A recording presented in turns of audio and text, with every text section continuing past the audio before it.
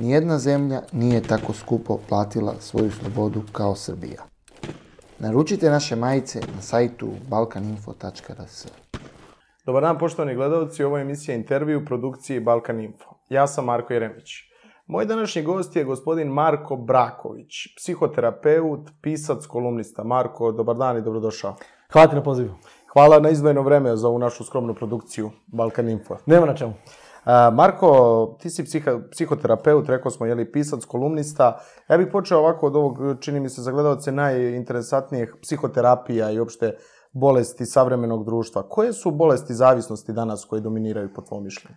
E, pa zašto nema tu po mom mišljenju, to su negde podaci zvanični. Ja sam skoro pre, oko nove godine, učestvovao na tribini vezano za depresiju, koju je organizovala Domu vojske u Beogradu i negde tamo smo videli da što se bolesti e, mentalnih tiče, da je depresija na ubedljivom trećem mestu, nakon, e, nakon bolesti srca i nakon e, malignih e, maligniteta, ove, ona je na trećem mestu sa tendencijom, a to pokazuju i podaci kod nas, a čini mi se i podaci ovaj, u svetu, tendencijom da bude jedna od glavnih bolesti današnjice. Znači, ne mentalna bolest, da li je subklinička, da li klinička, nije važno, mm -hmm. nego bolesti današnjice. Tako da ona dominantna, a što se tiče ovaj, uh, uh, bolesti zavisnosti, ovaj, naravno danas ono što je uh, veoma moderno, to je zavisnost od interneta, odnosno internet igrica, a sad sama zavisnost od interneta ima svoje sub sub uh, uh, uh, podele, a to su zavisnost od kuckanja, zavisnost od sextinga, zavisnost od samog pregledavanja sadržaja, recimo na mobilnom telefonu, zavisnost od, od igrica na internetu, internet kockanja i tako dalje.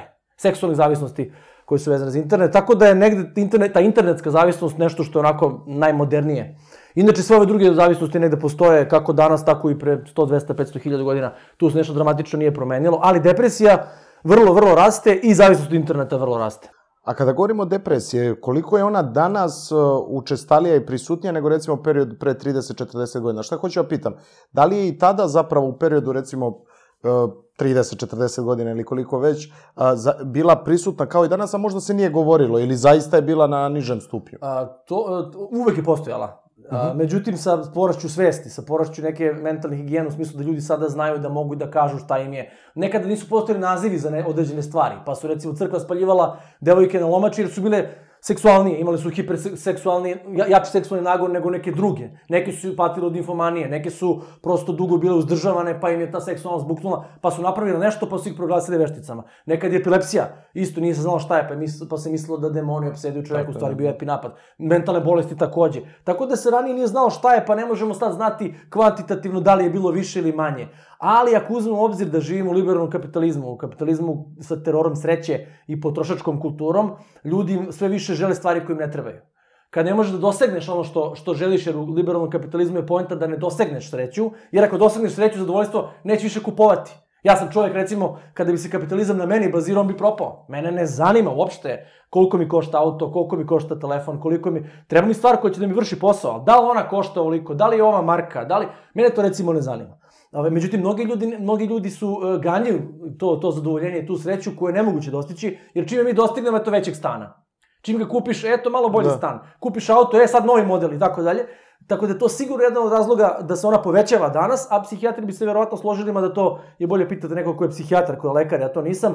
Verovatno i hrana, malo, i, malo izgleda ima uh, vezi hrana sa tim, tako da to bi vam bolje rekao neki lekar, nutricionista ili neki psihijatar koji se baš bavi time. Tako da ja mislim da danas ima više, ali sigurno bilo i ranije, samo što ljudi nisu mogli da osveste šta im je tačno. Nije ni medicina znala, nije ni psihoterapija bila pre 100 godina i 200 godina na nivou negde na kojem je danas, pa se dosta toga i nagađalo, negde su pogađali, negde su promašivali, ali ja mislim da je ona, ovo što su istraživanja pokazali, rezultati koje sam sad pre nekoliko meseci video, baš sam video papire, ove, ona je prevalencija, znači ona se širi, povećava i ide, ide ka tome da, da će biti možda i bolest civilizacije broj 1, uopšte, vezano je za sve bolesti. A sad evo, dobro, na početku smo emisije, ali onako čini mi se negde i ključno pitanje, kako se izboriti s tim? Kako se izboriti s tim da ne poželiš veći auto, bolji? Kako se odupreti tom, jeli, toj potrošačkoj kulturi i time što nas... E, zap... sad me pitaš, te, teško pitanje me pitaš. to da, vrlo ovaj, kompleksno ovako. Teško pitanje me pitaš, znaš, ono, ja sam negde ono, u onoj fazi što više znam, to toliko vidim da u stvari mi nešto i nije jasno, ja se bavim i muško-ženskim odnosima, mnogo pišem i pisac sam i prošao sam mnogo toga u životu.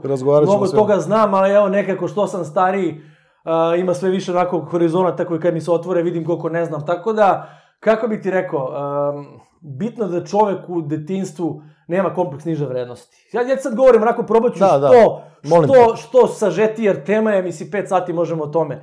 A, poenta da, da, da vas, vaspitamo čoveka koji ima frustraciju i toleranciju, a to je da može da podnese osvećenje, bez da se raspadne, da doživi nervni slom, da bude sposoban da ima empatiju. Kada čovjek ima sposobnost da empatiše s drugim bićem, znači da se osjeća, kada, imamo, kada ima sposobnost da istrpi kada mu nešto nije po volji, kada nema kompleks niže vrednosti i ostvari neke svoje potencijale, onda u suštini kapitalizam i reklame na njega neće da rade.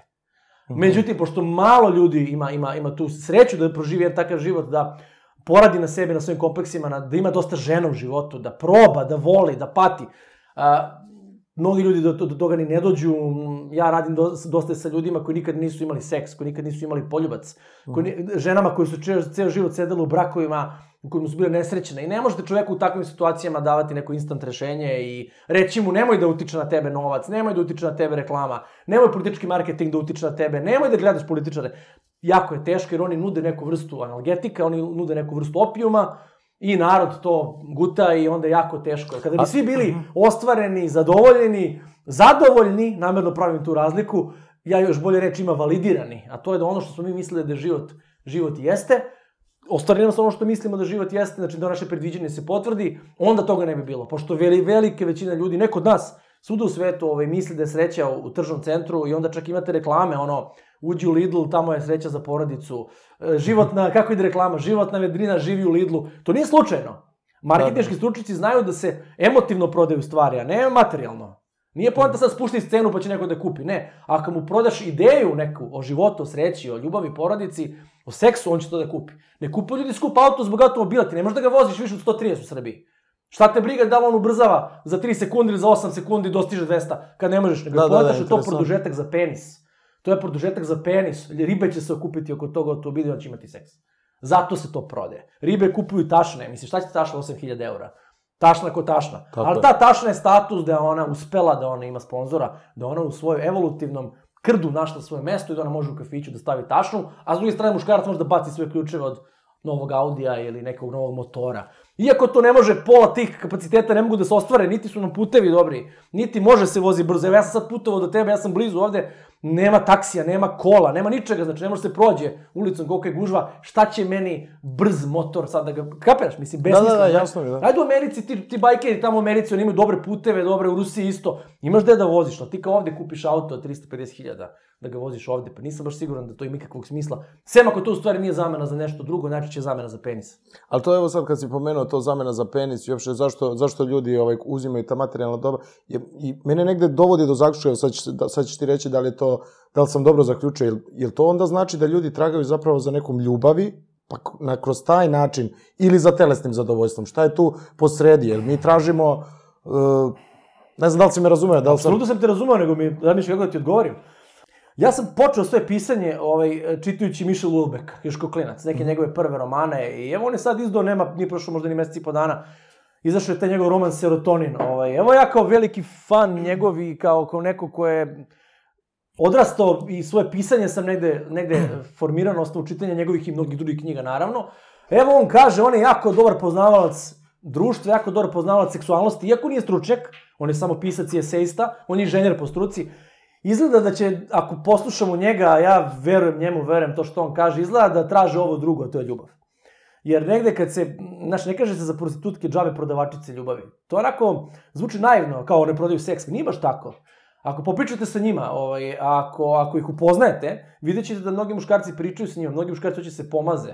Nije više samo fetiš, nije više samo seks, nije više samo, nego one bi vam mogli spričati ovaj, e, dosta toga o tome da to, da su one prodavačice ljubavi nije besmisleno. Tako da negde da, zadovoljstvo telesna, da, da negde lečenje kompleksa, da, da se pokaže u društvu, da, sve su to motivi, ali da, iza toga se negde krije potreba za bliskošću koju u velikim gradovima, a sve države će se uskoro svesti na megapolise, svaka država će za 50-100 godina imati dva, tri velika grada i to je to. Neće niko živeti Znači, suštinski, za svega toga stoji nedostatak ljubavi, možda te iz mladosti ili možda... Nedostatak Kad- bliskih odnosa, ajde da budemo precizniji, da. pošto je meni to struka. Nedostatak bliskih odnosa, odnosno da možemo da pričamo nekom o sebi otvoreno, iskreno, a da se ne plašimo da nas neće razumeti, da će nas osuditi. E, to je blizak odnos. Znači ja tebi kažem otvoreno jer verujem u tebe i ti mi kažeš da, Mare, razumem te, ajde da pričamo o tome. To je blizak odnos između oca i, sina, majke i čerke, dva bračna partnera, dva prijatelja, da, nije važno.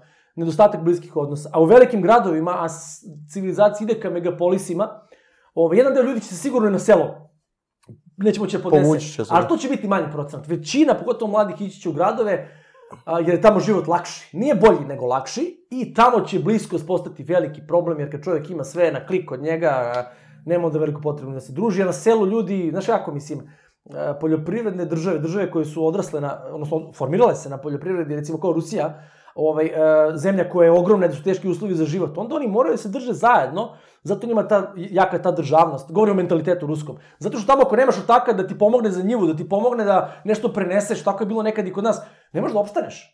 Fizički ne možeš da opstaneš. Pogledaj Japance, recimo. Zašto su kolektivni? Zato što ako nešto ne smisle zajedno, oni žive na lidu, mislim. Ono, pesak i nema ništa. Apsolutno. Dve bombe su kolektiv. popili, popili su dva šamara ozbiljna, vam padne na pamet više da budete ikako imperijalna sila. I onda kao, uh, a genocide su onolike pravili nad kinezima. Onda znači, ne ide genocidom, ne ide mučenje, ne ide protiv ovih, popićemo atomsku, ajde da sednemo, da napravimo kolektivnu priču o tome, da se vratimo na ono staro i da napravimo nešto, to je čip.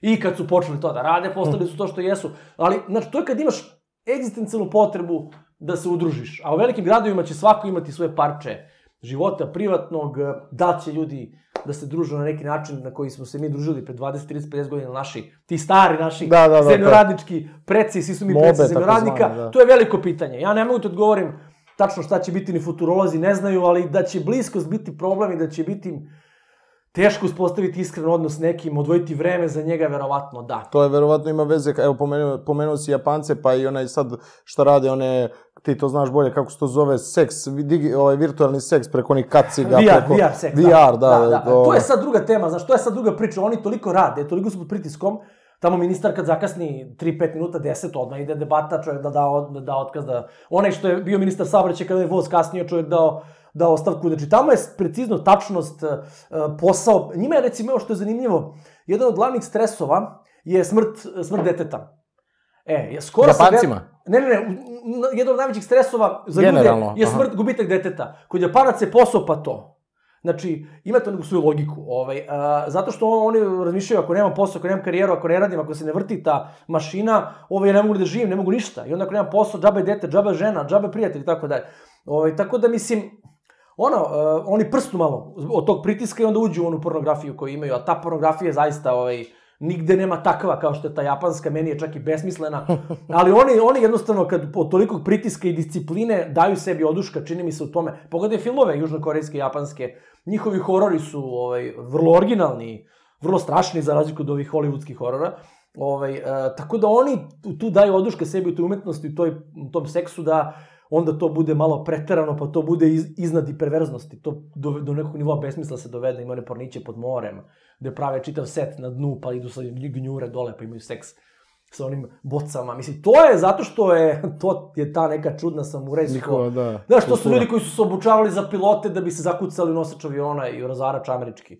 Znaš, zamisli sad ti, društvo. zamisli ti, nisi ti završio kurs ili, znaš, ono, Allah Ekbar, pa sad ti ideš, neko te naložio, zna, dao ti kokaini, idi uda- udari u, u nešto, ove, ovo je onako pilot koji vozi vojni avion, koji ima ozbiljnu obuku i koji na, i napravi odred ljudi koji se, koji su zapravo ne, ne, ne, neodbranjivo oružje za nosače i za razarače, tako da oni su, Japanci treba proučavati, ne znam, japanski psihoterapeut kako radi, to me uvek zanimalo. Šta oni rade na terapiji? Pa da, bilo bi interesantno možda, ne znam da li si išao na seminare u Japan ili nešto slično. Nisam nikad, ali volao bi da vidim. Biće iskustva, verovatno će imati to iskustvo, ali da se vratimo s japanskog društva na ovo naše, pomenuo si, jeli, u pređašnjem odgovoru da dolaze ljudi kod tebe koji nisu imali poljubac, jeli, do, do ne znam, do 30 ili preko toga. I preko. I ako sam dobro razumeo, bilo kakav odnos, jeli, sa suprotnim polom i to šta je, šta je, verujem da si različite primere susretao i razgovarao i upoznavao, šta je zajedničko svim tim ljudima? Da li je to upravo ono što si rekao iz mladosti, ta neka uh, trauma ili ne znam kako to da nazovem, I ovaj, šta uočavaš kod njih? Jel, jel njih, mislim, koliko ih to muči, koliko ih to jede? Kako, kako razgovaraš sa njima? Pa kako bih ti rekao, sjeti se kad smo mi ti ja bili klinci, pa recimo sa 15, 16, 17 godina, kada bi trebalo normalno da se ulazi u nekakvu vrstu seksualnog života, pa kad znaš da imaš nekog drugara koji je već prošao to ili drugare koji su prošli, pa te to malo muči kad ću ja, kad ću ja. E sad zamisli da se to kad ću ja produži na 20-30 godina. To je užasno teško, komplikovano I velika patnja. Velika je patnja, ovaj, uopšte ne, ne, ne, nemam nikakvu sumnju, ja sam, pa stotine momaka je već prošlo kroz tu priču, ovaj, ja sam čak i učestvovao na nekim radionicama vezane za pick apart udruženja, ovaj, neki od njih su gostovali kod vas ovde, kod Teše, ovaj, Miloš Koprivice i, i ovi drugi, ja sam s njima godinama sarađivao dosta uspešno ovaj, i mnogo, mnogo priča znam o svemu tome, ovaj, e, tako da šta bi moglo biti zajedničko za sve te momke? Neodgovorno je reći da to važi za svakoga na planeti od njih. Naravno da postoje uvek izuzetci. Ja ti mogu reći ta normalna distribucija negde u prosečnom smislu kako bi izgledao jedan momak koji ima takvu vrstu problema, a to je da nije uspio da ostvari seksualni život ni na koji način. Ove, a to je da su većina njih nije imala oca u formativnom periodu razvoja. Znači kad su bili mali. Peta, šesta, sedma, osma, deveta godina, od treće pa novamo, jeli kako to psihoanalitičari zovu formativni, ne bez razloga, formativni period života. Otac nije bio prisutan. Da li fizički, umro, ili je stalno putovo i radio, ili je bio u kući spred televizora i gledao utakmice, ili je bio potpuno nezainteresovan, ili je bio slab muškarac, muškarac koji nije umao da pokaže svoje muške atribute i muške, e, neku vrstu muškog vaspitanja e, sinu da, da, da pokaže. Ove, a onda šta se desi? Onda se desi jedan još gori mehanizam od toga, to je da majka onda koja bez muža podiže tog, tog sinčića, na primer, onda ona pokuša da to nadomesti i onda mu bude i majka i otac. I onda ti momci odrastaju uz jedno vaspitanje bez muške figure, a uz dominantnu majku, koja ih prezaštićuje. Kada nekoga prezaštićujemo u detinstvu, onda on biva alergičan na anksioznost. Šta to znači? Kao što neko alergičan na jagode, pa mu daš malu jagodu, mhm. on dobije onaj osip. Tako i ljudi koji nisu izlagani anksioznostima u detinstvu, znači izlagani po malim sitnim situacijama koje ne mogu da predvide onda oni razviju jednu vrstu alergije na to i svaka nepredvidivost, svaki, svaki dan, trenutak da njih, oni nisu sigurni šta će biti u poslovnom, edukativnom, u ide ispitima, sa ženama pogotovo, situaciji ne mogu da se koncentrišu, ne mogu da budu spontani, jer nisu dovoljno samopouzdani. Za samopouzdanje je potrebna spontanost. Da bi ti sad ovde pričao opušteno, mora da siguran u to što pričaš. Ovaj, tako da, uh, odrastajući tako, oni uh, jednostavno, taj, to, to, umetnost zavođenja žena, prilazak ženama, je jedna situacija gde ti nikad ne znaš kakav je ishod. Ja mnogo iskustva imam s tim. Ali ni ja nekad ne znam, desi se nekad i da ja što se da ne smuvaš. Kako da ne? Kako da ne? Desi se to. Ali dobro, kad si siguran u sebi, kad si iskusan, to ne pogodi previše. Onda znam zbog čega je. Žurio sam, mrzelo me, preskočio sam neke i tako dalje. Ali znaš, kad se to desi, kad si mali prvi put, pa drugi put, pa treći, pa 43. put, desi se jedna strašna situacija da, da, da, da taj neizdrž postane toliko težak da onda se iz te anksioznosti i, to i te socijalne fobije, straha od ljudi, pa onda i od žena, naravno, i oni su ljudi, a, dođe do toga da se javi bes, bes koji najčešće nije kanalisan kako treba, nažalost, ako to mnogo dugo potraje, pa neko u 40 uđe s takvim životom, znači ili samo prostitutke, čak ne ni prostitutke, ovaj, onda se dođe do depresije. Eto, sad sam ti delimično odgovorio negde da, da, da lep razum. kao sekundarna depresija. To A... to je sekundarna depresija, znači depresija koja nije izvorna, nego je nastala zbog životnih problema. Subklinička u početku, e onda ako postane klinička, to znači da su potrebni lekovi, onda je to već ozbiljan, ozbiljan problem. Na svu sreću, ovaj, neni momci dođu sa 19, 20, 21, 22, pa ima vremena da se to malo popravi. Kad dođe čovjek 40-50 koji nije imao žena ili se sad probudio, tek bio u braku 30 godina, pa tek sad vidu u stvari da on ništa nije. I to je onda mnogo teško i tu onda, da ti kažem iskreno, nema lakih rešenja i ko vam god nudi laka rešenja za to, ili je amater ili hoće da vam uzme pare. A je li se tu, Marko, stvori neka vrsta straha prema ženama, je li, ili, ili... Heterofobija, heterofobija, strah od suprotnog pola. Kako da ne? Strah, strah, kako da ne, veliki strah od odbijanja, onda se to generalizuje na sve žene, pa dođe onda do mizoginije, mržnje prema ženama. Može jako da se skomplikuje ta priča. Ja se trudim da to... Kako se pomaže tim ljudima? Mislim, kako pomažeš takvim... Što, što ranije dođu ljudi š, uh, i što je taj problem, da kažemo, onako nastao, uh, što je manji staž tog problema. Ovaj, što momak ima više potencijala, intelekta, što fizički bolje izgleda, mnogo je lakše. Mnogo je lakše. Što je sve to suprotno? Dugo traje, fizički izgled je problematičan, nesamopouzdanje je ogromno, majka je dominantna, jer je preuzela ulogu oca, Ove, ovaj, to je teže.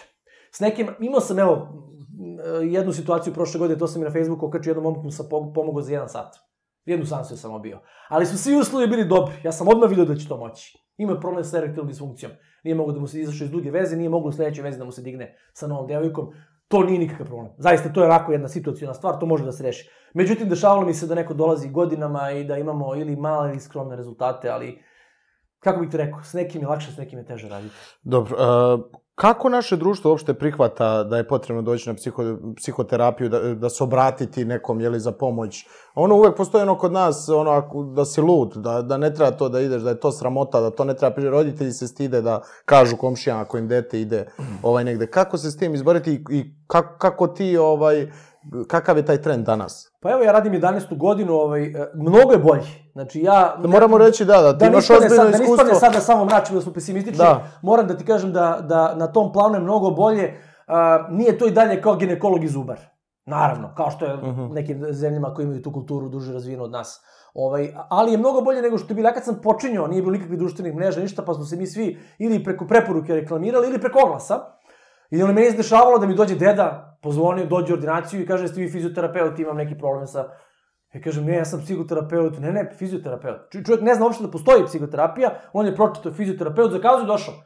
Ja nisam tad mogao da znam, kao danas kad me neko kucka da vidim, aha, koliko neko ima godina, da mu vidim malo profil, da vidim otprilike s ko mi dolazi, ili ljudi, recimo, prate moje pisanje, prate moje romane, prate moje televizijske nastupe i kažu, ovaj čovjek za mene. I nema rasprave, oni dođu i to je uvek skoro dobar odnos. Jer oni znaju kod koga dolaze, čuli su šta ja pričam godinama unazad, šta pišem, i onda znaju ko može otprilike da im pomogne, a ko im se ne dopada. A tad je bilo, dođete neko na blic, ni znaš ko je, znaš ništa, se čuzi samo glas. To je period od pre koliko? To je recimo 2007-2008. Mhm, mhm. Ovaj, I dešavalo se to i to je stvarno bilo onako malo posla, tabu je bio veliki. Evo nekih desetak, 11 godina e, kasnije, što zbog društvenih mreža, što zbog toga što se ipak u medijima ipak mnogo više priča o tome, ovaj, danas je mnogo bolje. Međutim, i dalje u manjim mestima, manjim sredinama po Srbiji, po regionu pogotovo, ne samo u Srbiji, i dalje je to dosta veliki tabu i ovaj, kad god onako neki kolega dođe sa neke tribine, s nekog malog mesta, ovaj, ili Jug Srbija, ili Sandžak, ili, ili Bosna, ili tako dalje, neka mesta koja su onako i dalje a, dosta zaostalo, odnosno na velike gradove po regionu, kažu da onako tu su problemi i, i, i dramatičniji, i teži, i gura se više po tepih, i ljudi su manje osvešćeni. Kad se dođu Novi Sad, Beograd, Sarajevo, Banja Luku, Zagreb, ne znam, tu je već situacija bolja, ali nekada je svuda bilo onako tabu. Danas, evo, negde ja mogu da kažem da mi radimo super, ovaj, da imamo puno posla i kod nas toga nema, ali već 200-300 km dole, pa i manje, ovaj, nisam baš siguran da je takva situacija. Tako da je potrebno još puno prosvećivati ljude, svuda, naravno, ne samo kod nas, ali je mnogo bolje nego što je bilo, eto, otprilike, to je moj odgovor. E, kada, kada možemo reći da je neko zaista bolestan i da mu je potrebna pomoć? razgovarali smo mi uh, o tome, pa sam ti rekao negde, uh, pitao si me bio psihijatar, psihoterapeut, šta lekar, ko lekar, ko nije lekar. Uh, psihoterapeuti mahom rade sa subkliničkim problemima. Ljudima koji ne idu kod psihijatra, ne uzimaju lekove, u Šta to znači? Ajmo da uprostimo zbog- Subklinički, nisu mu potrebni lekovi, potrebna pomoć lekara da bi, da bi hendlovao svoje probleme. Naravno da mi radimo, kao što i psihijatar može raditi sa subkliničkim, tako i psihoterapeut može, može raditi s kliničkim. Ja sam godinama radio s ljudima koji idu kod psihijatra, ali negde generalno, znaš, mi radimo neke životne probleme koji nisu do, došli do toga ili nisu hemijski biohemijski uzrokovani, ako me razumeš. E, pokušavam, da. E, ovaj, tako da mislim, ovaj, e, negde, šta si mi pitao? Kada možemo re- reći da je nekom zaista reći? potrebna pomoć, da? A, p- Pomoć je potrebna u bilo kom smislu, pitao me za bolesti zavisnosti, potrebna je, pomoć nam je potrebna bilo psihoterapeuta, bilo psihijatra ili oboje, nekad je potrebno i oboje, jedan za lekove, drugi za razgovor, onda kada nam a, ljubavni, emotivni, finansijski, društveni, socijalni, obrazovni, društveni život trpi. Kada mi počnemo da imamo posledice i po druge aspekte života, tada tada negde bi trebali da se obratimo za pomoć. Ja imam jednu rečenicu koju često kažem ljudima, kada pomisliš možda bi mi trebao psihoterapeut, možda mi vreme da razgovaram s nekim, tad treba da razgovaraš. Znači, ne da čekaš, nego kad pomisliš možda bi mi trebala pomoć, tad pozovi pomoć. Eto, to je negde onako subjektivni osjećaj, a kad nam život počne da se zbog Ali ja kocke- mislim da recimo gomila ljudi sad koji će ovo gledati će- biti u fazonu, pa možda bi meni trebalo. Mislim da svako misli da nek... Čim kažeš možda bi mi trebala, verovatno, verovatno ima razloga što si to pomislio, što se taj glas u tebi pojavio. Međutim, ovaj, e, kažem ti, ovaj, ljudi često kad to pomisle, sad čekaju godinu, dve, tri. I onda se to malo po, pogorša. Ja često kažem ljudima, gde si bio do sad? Kao, u braku sam 35 godina loš brak. Pa Što nisi došao pre 5 godina? Pre 10. Što nisi kod nekog drugog otišao pre 15, bilo i tada terapeutem. Ljudi nekako, tek kad im dogori, onda... onda, onda Ali pazi, Marko, na što mislim? Evo, recimo, ne bi sad leteo s teme na temu, imamo vremena, naravno, razgovarat ćemo kroz sve, ali recimo što se tiče društvenih mreža i, to, i, i pro, provođenja vremena na mobilnom telefonu, pa ja mislim da prvo meni treba pomoć. Mislim, ja ne znam koliko ti, recimo, dnevno provodiš... Govoriš o telefonu? Pa, na, da, o, recimo, društvenim Evo sad ću, mrežama. ti, sad ću ti reći, svi smo mi zavisni od telefona. Ovaj, zašto? Zato što to više nije telefon i mi ne buljimo u telefon, nego život. Jer tu su, tebi je tu posao, pa ti tu druga televizija, pa treća televizija, pa kolege, pa devojka ili šta god imaš, pa prijatelji, pa roditelji, pa e, vesti, pa sport Tako ako pratiš, pa apsolutno. kladionica, pa serije, filmovi. Život je sad u telefonu. I mi buljimo u život, ne u telefon. To što je život u telefonu, to je druga, dru, drugi padež. Svi su mi zavisni od toga, međutim, ovaj, kako bih ti rekao, ja stalno govorim digitalna dijeta. Probajte koliko god možete da pravite dijetu od digitalne ere tokom nedelje. Sat, dva dnevno, 4-5 sati nedelje. Evo recimo šta ja, radim. Ja treniram ceo život onako negde amaterski se bavim sportom ovaj, teretana, bicikl, malo trčim i tako dalje, i trudim se da tih 4-5 sati nedeljno nikad ne nosim telefon. Znači, znam da će me možda neko nazvati, ali prosto ako dva sata mi prave neku razliku u pozivu, nek mi prave razliku. I ja se recimo svaki drugi, treći dan, recimo 2-3 sata dnevno jednostavno ne javljam na telefon. Znači, pravim neku digitalnu dijetu da kao em mi trening, da bi mi trening bio efikasniji, ne da stvarno 5, 6, 7, 8 sati, ako ne računamo spavanje, nemam telefon. Naravno, čim dođeš kući posle tog vremena ti proveriš, naravno, svi smo mi, svi mi buljimo u to manje više, posao nam je tu i sve nam je tu, Ove, ali nekako pravite te digitalne dijete, da li dok meditirate, da li dok radite, da li dok ste u sportu nekom, da li dok imate seks, da li dok gledate neki... Prosto odredite sebi neku dijetalnost u tom smislu, a to da je to jednostavno život prešao i preselio se u virtualno, to je više nema nikakve dileme, to je potpuno... I taj VR japanski, mi ćemo moći da dodirnemo sagovornika, imat ćemo taktilni taj moment, to na rukama. Kad dodirnem ja tebe, a ti si u Tokiju, a ja u Beogradu, gotovo je. Više nema virtualnog, to je sad zaista mozak. Da, veruje- to napravljeno već, ili Mo- to postoji? Oni, Repanci su već daleko otišli u tome, nema još uvijek, ja mislim, u prodaji. Nema još uvijek da možda kupiš, barem ne znam, da, ja da ima, da se to radi, radi se. Ja sam probao te VR naočare, mi je dobar prijatelj, ovaj, jedan od prvih koji je to Dobro. doveo u Srbiju. I kako je iskustvo, to možda nam ističe. probao sam Pornić, probao sam a, roller coaster i probao... Kako si probao Pornić? Pa, sad ću ti reći. Ajde. Probao sam Pornić, probao sam roller coaster i probao sam horor. Ruski neki, neki zatvor, neka klinika u Sibiru. Treba da izdržiš 20 minuta. I sad ja znam da ja sedim u kancelariji, ja to stavim, ja to pustim. Ajde, Pornić nije bio loš, onako uzbudiš se malo, ali pa je možda biraš, hoćeš da, hoćeš da budiš subjekt na bazenu, hoćeš u kolima, hoćeš na livadi, menjaš settinge, imaš da klikneš. To je bilo simpatično. Međutim, ovaj, ono što je mene šokiralo, to je, pošto je roller coaster, ti se na njemu vrtiš i doživiš nesreću na trenutku. Veruj mi, koliko god ja znao da sam ja stavio te naočare, koliko god ja znao da sam u kancelariji kod mog dobrog prijatelja u kog imam poverenja, koliko god je setting bio meni siguran, usro sam se. Zaista. Usro sam se, izdržao sam desetak minuta. Bila je mučnina, držao sam se za ragastol. Mozak veruje u ono što vidi. Nema veze. Za horor, pazi, ja sam odigrao sve moguće horor igrice kao klinac koje postoje. Od Wolfensteina, Sufferinga, Da, neka, da, da, sve da. sam odigrao i nikad se nisam plašio. Kao klinac sam vrlo rano ušao u te, u te horor filmove kad sam bio dete i ja volim da ih gledam. Međutim, kad sam gledao taj, taj ruski zatvor gde ti si ilaziš s nekim, to je neka psihijatrijska zatvorska bolnica, šta je? Nema nikakvih čudovišta.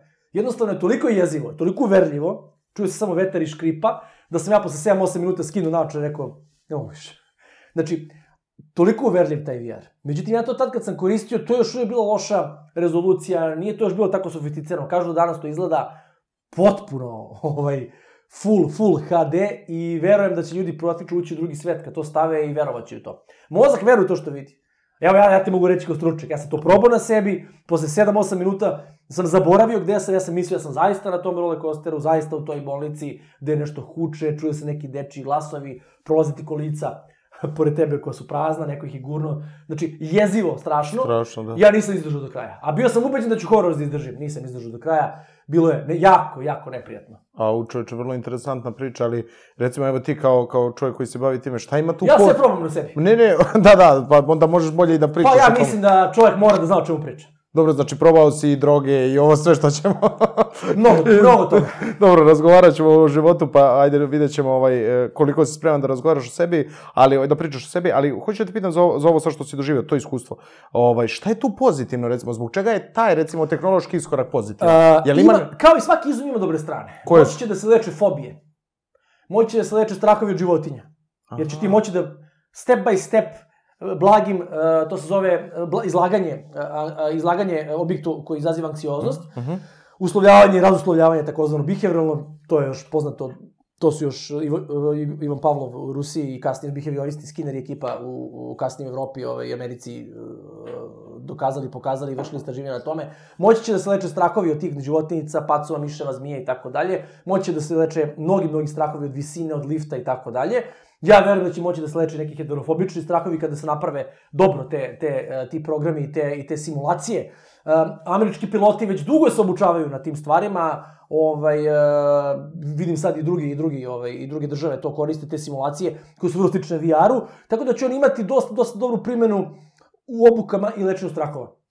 E sad, da će imati posledice, da će to kad uđe u potpunu komercijalnu upotrebu, da će biti kao u onom filmu Demolition Man, sa, sa Stallonom kada on ima da. seks sa onim naočarima, bojim se da idemo ka tome i ono čega se ja bojim to je da ljudima koji budu takav seksualni odnos imali uh, sa virtualnom devojkom koja je po tvojim set, po tvojim, uh, koja je nastovana po tvojim potrebama. To će biti plavuša, toliko i toliko visoka, moći ćeš da biraš njen glas, donoći ti pivo, gledat će tom ligu šampiona, poručiti oralni seks, neće nikad tražiti da ti njoj pružiš oralni seks. Ljudi će se toliko uh, navići na to, toliko će im biti udobno da je pitanje da li će uopšte želeti pravu ženu pored sebe. E, upravo si mi dao odličan šlagvor, s obzirom jeli, da se ti bavi, baviš se i muško-ženskim odnosima. Šta je ono danas što zaokuplja mlade ljubavne parove? Pa znaš kako, ja kad, kod partnerske terapije obično, obično radim probleme u vezama i brakovima. To su mhm. prevare, to je nalaženje poruka u telefonu, to je e, prestanak seksualne želje kod nekog od partnera ili kod oba partnera. To je e, problem e, problem praznog gnezda, to je kad deca napuste brak, partneri shvate da u stvari sad nemaju osim dece ništa, da nemaju čemu da pričaju, da oni u stvari jednom drugom više nisu ono što su bili. To su one stvari zbog kojih ljudi dolaze na partnersku terapiju i mislim da su to problemi koji su mučili parove nekada ranije. Dakle, to nisu e, neke stvari koje su moderne, sem što sada prevara može mnogo lakše da se izvede i mnogo lakše da se otkrije.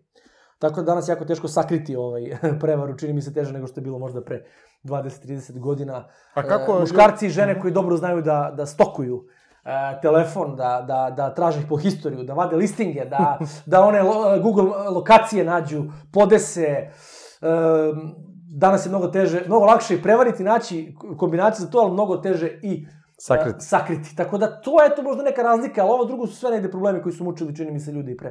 Ali evo, kad se dotakao prevare, ovaj, kako treba gledati na prevaru u braku? Je to nešto, ajde da kažem, uslovno rečeno, normalno? Ili, ili jednostavno treba prekinuti odnos u ta, u, ovaj, kada, kada dođe do prevare? S obzirom je da mi imamo taj neki animalni animalnu potrebu, je to normalno što jednostavno ljudi u jednom trenutku potraže drugačijeg partnera? Evo nova knjiga izašla od Esther Perel. Esther Perel je jedna gospođa koja je jedan od najvećih autoriteta iz oblasti muško-ženskih odnosa. Ovaj, njeni TED, to govori su, ima milionske preglede, klikove. Ovaj, čitao sam uh, u njenu novu knjigu i moram da priznam da je izuzetno dobra. Preporučujem svima koji ta te nam zanima da pročitaju knjiga se zove Neverstvo. Esther Perel Neverstvo. Znaš kako? Mi smo i poligamna i monogamna bića. Mi smo svašto jedi i svašto jebi.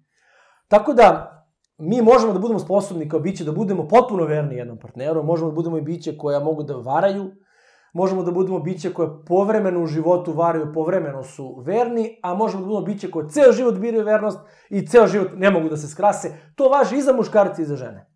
Delimično je možda negde izraženije kod muškaraca ta, zbog testosterona ta želja, međutim, i zbog prirode naše psihologije, odnosno na žensku, ali je prevara zastupljena i među ženskim partnerima, odnosno i žene i tekako ovaj, mogu da varaju i mogu bolje da sakriju to jer se ne hvale. Zato što je hvaljenje koliko je žena imala partnera stvar osude, a hvaljenje koliko je muškarac imao partnerki stvar ponosa. Ima razloga evolutivnih osnova zbog čega je to tako žena sa puno partnera i sa takvom istorijom teže može naći tržište, muškarac se smanjuje, muškarcu sa bogatim seksualnim životom se e, tržište, ako ništa, barem, barem ostaje isto ili se povećava. Znaš, od klinke kažu, volim starije jer je iskusan. Da, da, A zamisli, da, da. neko kaže, želim se sa ovom gospođom jer ima 100 muškaraca. To ćeš teško čuti. yes, to ćeš teško čuti. A žena kad kaže, neka, neka on se živao, treba mi takav što se živao. Dakle, i same žene mogu to da smatraju pozitivnim, a muškarci baš i ne. Držao sam jedno predavanje pre 6-7 godina momcima koji su tako bili 20 i nešto godina, svi su bili manje više fakultetski obrazovani, nije bila neka mm -hmm.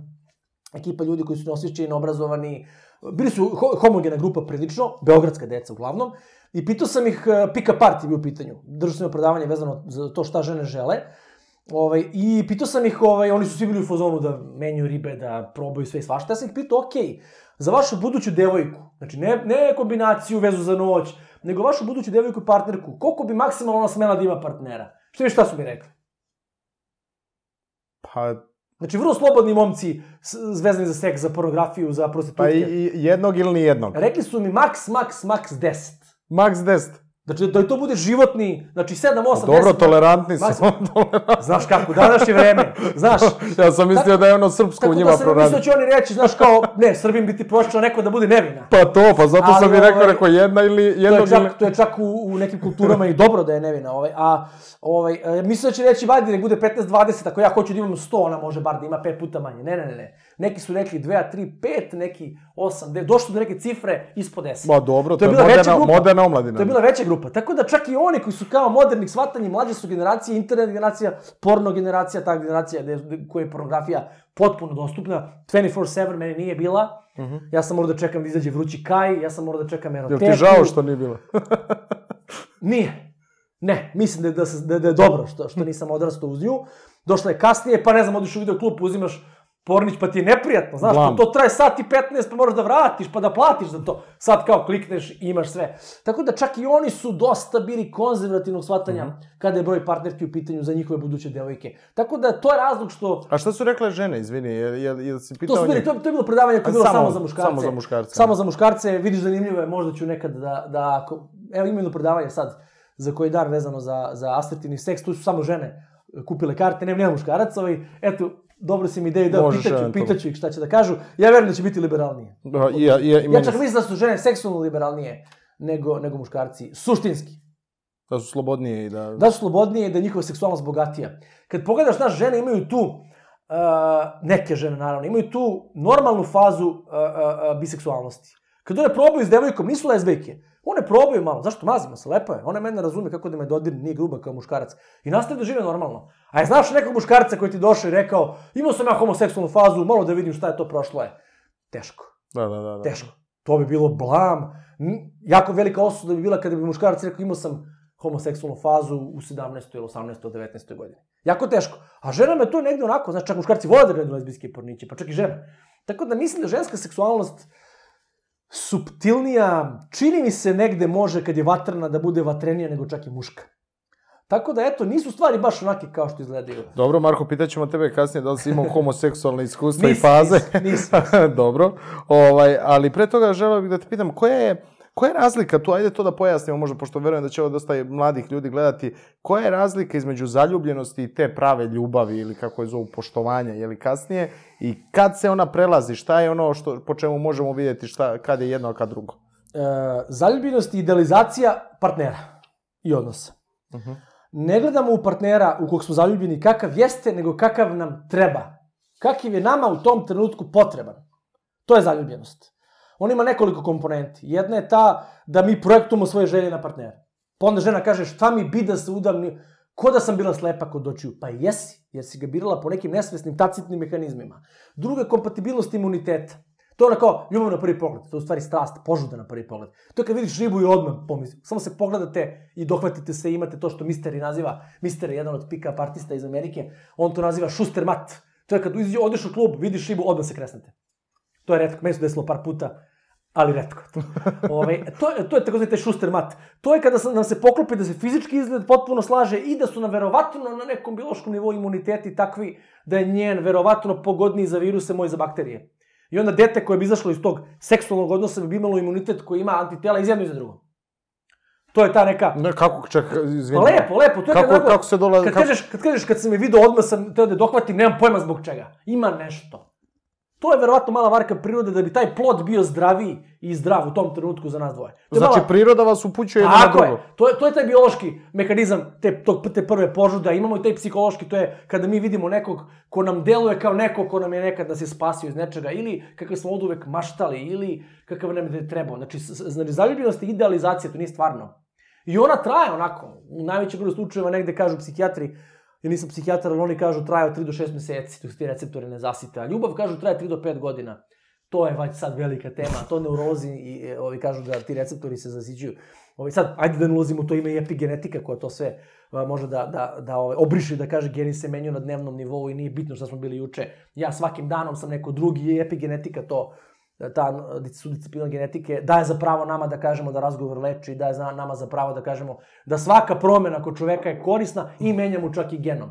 Tako da, da se vratimo na temu mnogo, mnogo, mm -hmm. ja sam kriv, izvini, širim mnogo. Ne, ne, ne, meni je zanimljivo, ovaj, potpuno, pokušavam da te pratim. Tako da to je zanimljivost. Vidimo partnera kakav nam treba, u bilo kom smislu. Ljubav je rad na potencijalima voljene osobe. Tačka. Znači, ljubav je rad na potencijalima voljene osobe. Vo, ljubav je kada vidimo partnera kakav jeste, sa svim vrlinama i manama i spremni smo da budemo sa njim i da mu pomognemo da se razvije u bilo kom smislu. Imao sam jedan par na terapiji pre par godina gde se žena mnogo žalila na, na svog muža, on ovako, on onako, i onda on kaže, ali ja sam te naučio da voziš kola. Ali ja sam te naučio da voziš motor. Ali ja sam ti pomogao oko pravosnog ispita.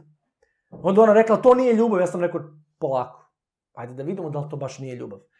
Tako da, koncept ljubavi su im bili različiti. Njoj je ljubav bila jednako pažnja, a njima je ljubav bila, ja sam ti pomogao u životu. Dakle. Ne dao sam ti pare, kupiš torbicu, to je najlakše. Ako imaš para. Ne, ne, ne, ne. Ja sam ti pomogao da položiš vozačke, ja sam s tobom vozio noćima po parkingu. Pomogao sam ti da položiš pravosno, ispitivao sam te, čitao sam sa tobom. Znaš, to je više ljubav nego to da li ti ja ugađam, da li si lepa, zgodna, pametna i da ti govorim da te volim. Tako da, ljubav je rad na potencijalima. Ljubav je sentiment. I ono što osjećamo i ono što radimo i naše vrednosti. Znači i ono kako se ponašamo i kako osjećamo i kako mislimo. A zaljubljenost je samo jedan glimp, jedan poriv da mi po ceo dan budemo sa nekim. Da li da imamo po ceo dan seks sa njim, da li po ceo dan da sedimo pored njega i tako dalje. Tako da su ljubav i zaljubljenost ne da nisu isti, nego suprotni pojmovi psihološki. Ovde je partner kakav nam treba, ovde je kakav on zaista jeste, ali mi odlučimo da budemo sa njim i zavolimo. Naravno, možemo iz perioda zaljubljenosti ući u fazu ljubavi, ne moramo nužno. Možemo se odljubiti da ispostavimo da to trajalo kratko, da to uopšte nije bila ljubav, a možemo odmah zavoliti bez da se zaljubimo. Može i to. Mhm. Odmah zavoliš osobu. Tako da što je, tu se slažem sa.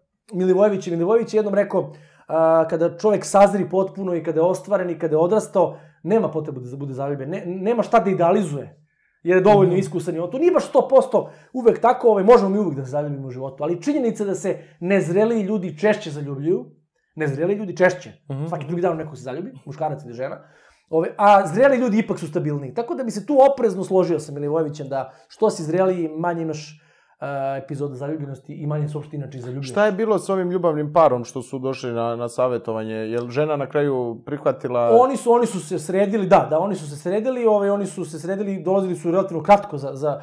Partnerska terapija inače kom, komplikovana jako, zato što prvo moraš da budeš neutralan, što je jako teško.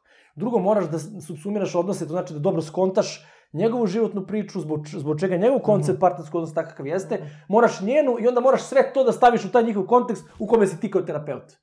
Tako da meni jako, jako kompleksno i teško da radim ovaj, te partnerske terapije, mada sam, kažem, onako, izgradio sebe negde kao neko ko to radi, ali inače to je dosta teško i kad je, kad je problem jako težak, nekada je dobra terapija i ona kada se oni razvedu i da razdvoje.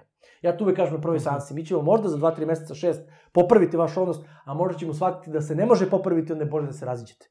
Polako, sistematično, pametno, na način koji vama najviše odgovara. Ako imate decu, dete volite i dalje, govorite mu da ga volite, iako se vi više ne volite.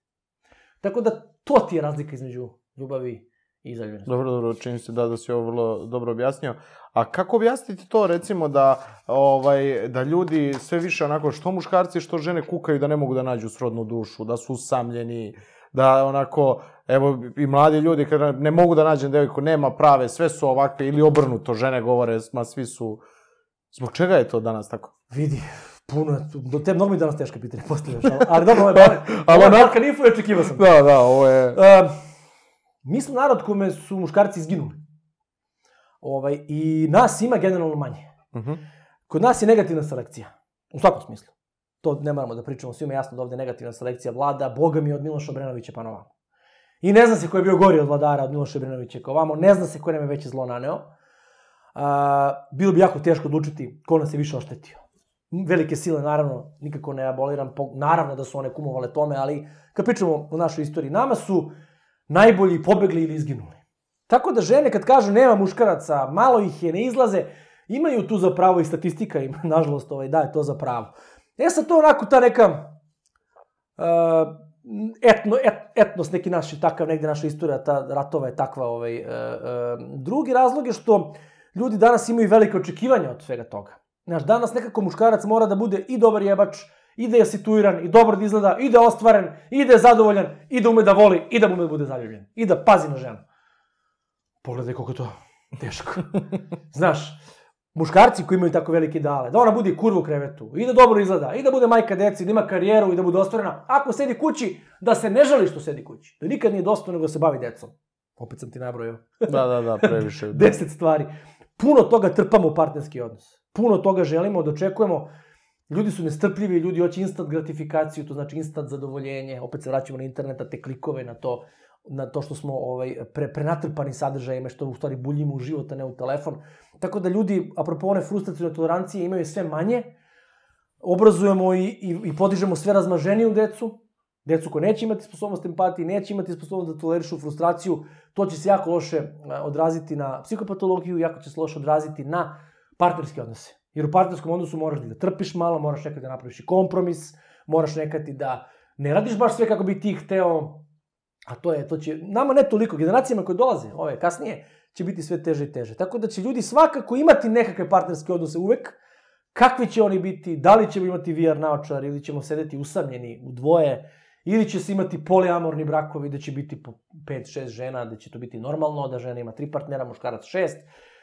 Da li ćemo se vratiti u opet neki taj neoklasicizam koji nas posle ovog post-postmodernizma, ovo, ovo postkapitalističko doba, post-istine, vodi nas u taj neki neoklasicizam u kojem će vjerojatno i porodica da se transformiše u nešto drugo, vjerojatno neće nestati, ali će se transformisati u nešto drugo. Kuda će tačno da ide, pojma nemamo. Da, da, vidjet ćemo, ali uglavnom ne možemo biti baš veliki optimisti, ako dobro razumem. A s obzirom na ove okolnosti, ali sad evo zadržao bi se kroz, kroz možda još dva pitanja tim muško-ženskim odnosima. Slušao sam jedan tvoj e, nastup u medijima gde si govorio problemima i da su to ozbiljni problemi zavisnosti o, o seksu. Ovaj, I čini mi se da je to nekako i dalje tabu uh, ovde u Srbiji ili, ili, ovaj, ili se neretko priča, i da kažemo. Pa bih volio to da pojasniš, kakvi su to ovaj slučajevi, o čemu se tu radi? Tu imamo zavisnost seksa preko interneta, znači sexting, imamo zavisnost prostitu, prostitutki, a, imamo zavisnost od menjanja partnera, takozvanu promiskuitetsku zavisnost, imamo zavisnost od pornografije, koju smo malo pre pominjali, i imamo zavisnost od masturbacije.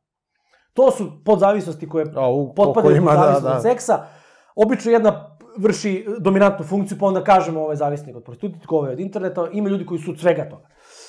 Uputim publiku na jedan odličan film sa Mike Fassbenderom koji dobro prikazuje tu vrstu zavisnosti, zove se Shame. Uh, ovaj, taj film je dobio neke si nagrade, ja mislim čak možda i Oscara pre 4-5 godina sa Mike Kako se zove film Shame? Shame se zove, tu je uh mhm. -huh. izuzetno dobro prikazana seksualna zavisnost.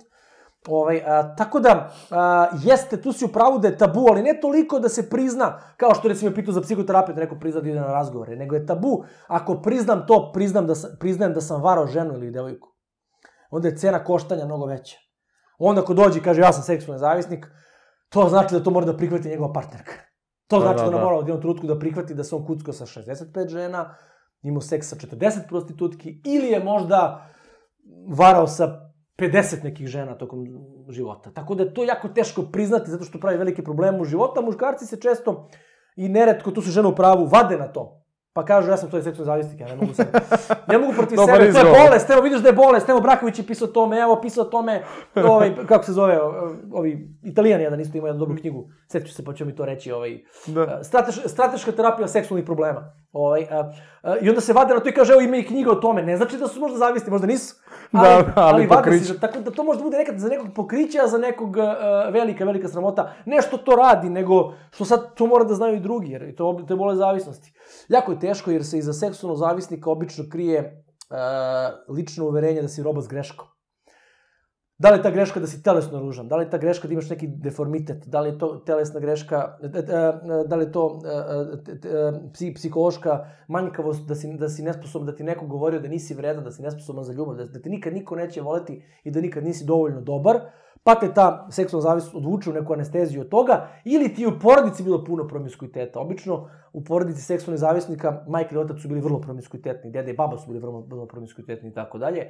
I ona se teško leči kao i sve drugi zavisnosti, to je, to je mit da je to sad kao eto, treba da prestaneš. Šta juriš te kurve, nemoj, potrošio si već ceo stan na njih. Ne može da se stane, da može da se stane, to ne bi bila zavisnost. Ovaj, tako da su da, dolazili ljudi kod tebe koji su rekli da ja sam seksualni za... Da ne, kako pomozi da ne. mi, šta da radim? Kako da ne i te terapije još uvek traju jako je teško. Jako je teško. Zato što kad mu izvučeš to, onda dođe do depresije. Svakom zavisniku kad izvučeš ono, ono, ono što mu je... Kamo izvučeš naviku. Javi mu se depresija zbog biohemije, zato što se ne luče hormoni sreće, zadovoljstva koji se luče kada neko masturbira ili gleda pornić ili baca kocku ili uzima uzima amfetamin ovaj, uh, i onda čovjek mora da izdrži 20 dana bez tih uh, apera, što izaziva, izaziva tešku depresiju, onda osoba u tih 20 dana misli, jebote, pa sad će ja ovako stalno da bude, ako ja to ne radim, da ne počnem ponovo. I to je začarani krug. Mora da se izdrži. To, tek kad se izdrži, kad se čovjek skine sa toga, bilo koji vrsti zavisnosti da pričamo, tek onda kreće psihoterapija. Dok si zavistan, dok koristiš opijat ili bilo šta, ovaj, uh, jako je teško. Uh, ono što je specifično za seksualnu zavisnost, pa i zavisnost od interneta, to je za razliku od drugih zavisnosti, ti možeš kad se izlečiš da imaš seksualni život. Ali moraš da se čuvaš onih stvari koje te triggeruju, nema prolazaka pored bordela, nema pornića, nema na internetu gleda, mora da se čuvaš. Kao je alkoholičar što resme da prolazi pored pivare i da sedi i da gleda. Razumeš? Da, da, da, Ovaj, ili kocka tako da, tako da ti triggeri moraju da se izbjegavaju jednom zavisnik, uvijek zavisnik zbog toga. On se izle, on, on može biti izlečen potpuno. Pet godina, ali zbog tog opreza se uvek kaže jednom zavisnik, uvek zavisnik. To nije da te labelujemo, nego zato što da budeš na oprezu. Zbog toga se to tako kaže. Ali i kod interneta ti možeš nakon lečenja zavisnosti od interneta možeš da, da, da koristiš internet. Dok recimo kod heroina ne možeš, kod alkohola ne možeš, kod, kod, uh, kod uh, amfetamina teško, kod kokaina teško, tu ne možeš da uzimaš kokain ako si bio težak kokainski zavisnik. Tako da, tu se obično uđe neka zamena. Puno se puši, puno se pije kafa, puno se pije Coca-Cola i tako dalje. Dođe se do neke takve zamene. Ovaj, dok kod interneta ti možeš da odeš na internet, ali ovog puta moraš drugačije da ga koristiš. E, Marko, ti si donio tu e, tri svoje knjige. Voleo bih onako da predstavimo publici šta mogu tu pronaći dodatno. Neke stvari si, e, da, evo, Facebook Predator. Ova knjiga je izašla 2014. godine, čini mi se, je li Jeste. tako? Evo, Maja Volk Marčelo. Šta možeš reći o ovoj knjizi? Šta ovde mogu da nađu ljudi? Pa šta mogu da pročitaju? Pa to je, Roman koji izašao, evo već, to već nekih 5-6 godina je prošlo, ima, već ima i tri, tri reizdanja. Tu sam napravio jednu, jedan, jednu sintezu moje lične uh, autobiografije, mog ličnog života, ovaj, kada sam ja počeo da se bavim društvenim mrežama i kada sam izašao iz jedne duge veze u kojoj sam bio dobar deo života i kada, sa, kada me je malo sačekalo to što nisam sa ženama bio sa toliko sa 19, 20, 21, 22, već sam uglavnom imao duge veze koje bih ponovo ponovio kada bih a, se ponovo rodio, ne, uopšte se ne kajem zbog toga, Dobro, to su bile kvalitetne veze i te devojke su mi dan danas, ovi smo u kontaktu, veoma su mi dragi, ali kada sam negde video šta sve pruža Facebook i šta se pruža društvene mreže u tom trenutku kada se ta mreža tek pojavila, ja sam jedno 3-4 godine, moram da ti priznam, ovaj, puno žena ovaj, uh, imao i upoznao preko Facebooka, ovaj, puno je toga bilo zaista, evo sad kad se setim na taj period nisam siguran da bi sad mogao da ga ponovim, ne bi imao snage za to što sam radio. I toliko zanimljivih priča je bilo da sam ja rekao sebi ovo moram da ili ekranizujem ili napišem roman. Pošto nemam dovoljno novca da, da pravim film i da jurim Da. sponzore, niti sam u, u ovim političkim ovaj, ovim kombinacijama da mogu da dobijem pare za film, ovaj, ja sam odlučio da ja napišem knjigu. Dobro. Međutim, nisam teo da bude klasična biografija, nego sam se setio jednog super thriller zapleta koji nema veze sa mojim tadašnjim seksualnim životom, koji mi se jako lepo uklopio. I onda sam spojio tu thriller priču koja je fiktivna sa mojim tadašnjim svakodnevnim životom i napravio jedan roman koji, evo, šta da ti kažem, onako, ovaj, danas, danas ga ljudi traže, danas ga kupuju, evo, šesta je godina već, treće reizdanje za tadašnjeg malog izdavača, novu poetiku. Ovaj, uh, I taj roman, onako, ja bih ga sad možda malo bolje napisao, bolju radio, ovaj, e, e, bolju lekturu radio, imamo puno tu nekih greškica koje bi danas ispravio, međutim ljudi vole što je takav sirov, što je tako napisano u jednom dahu. I onako Marcello, Marcello ga je lepo ovaj, recenzirao, Maja Vol ga je lepo recenzirala.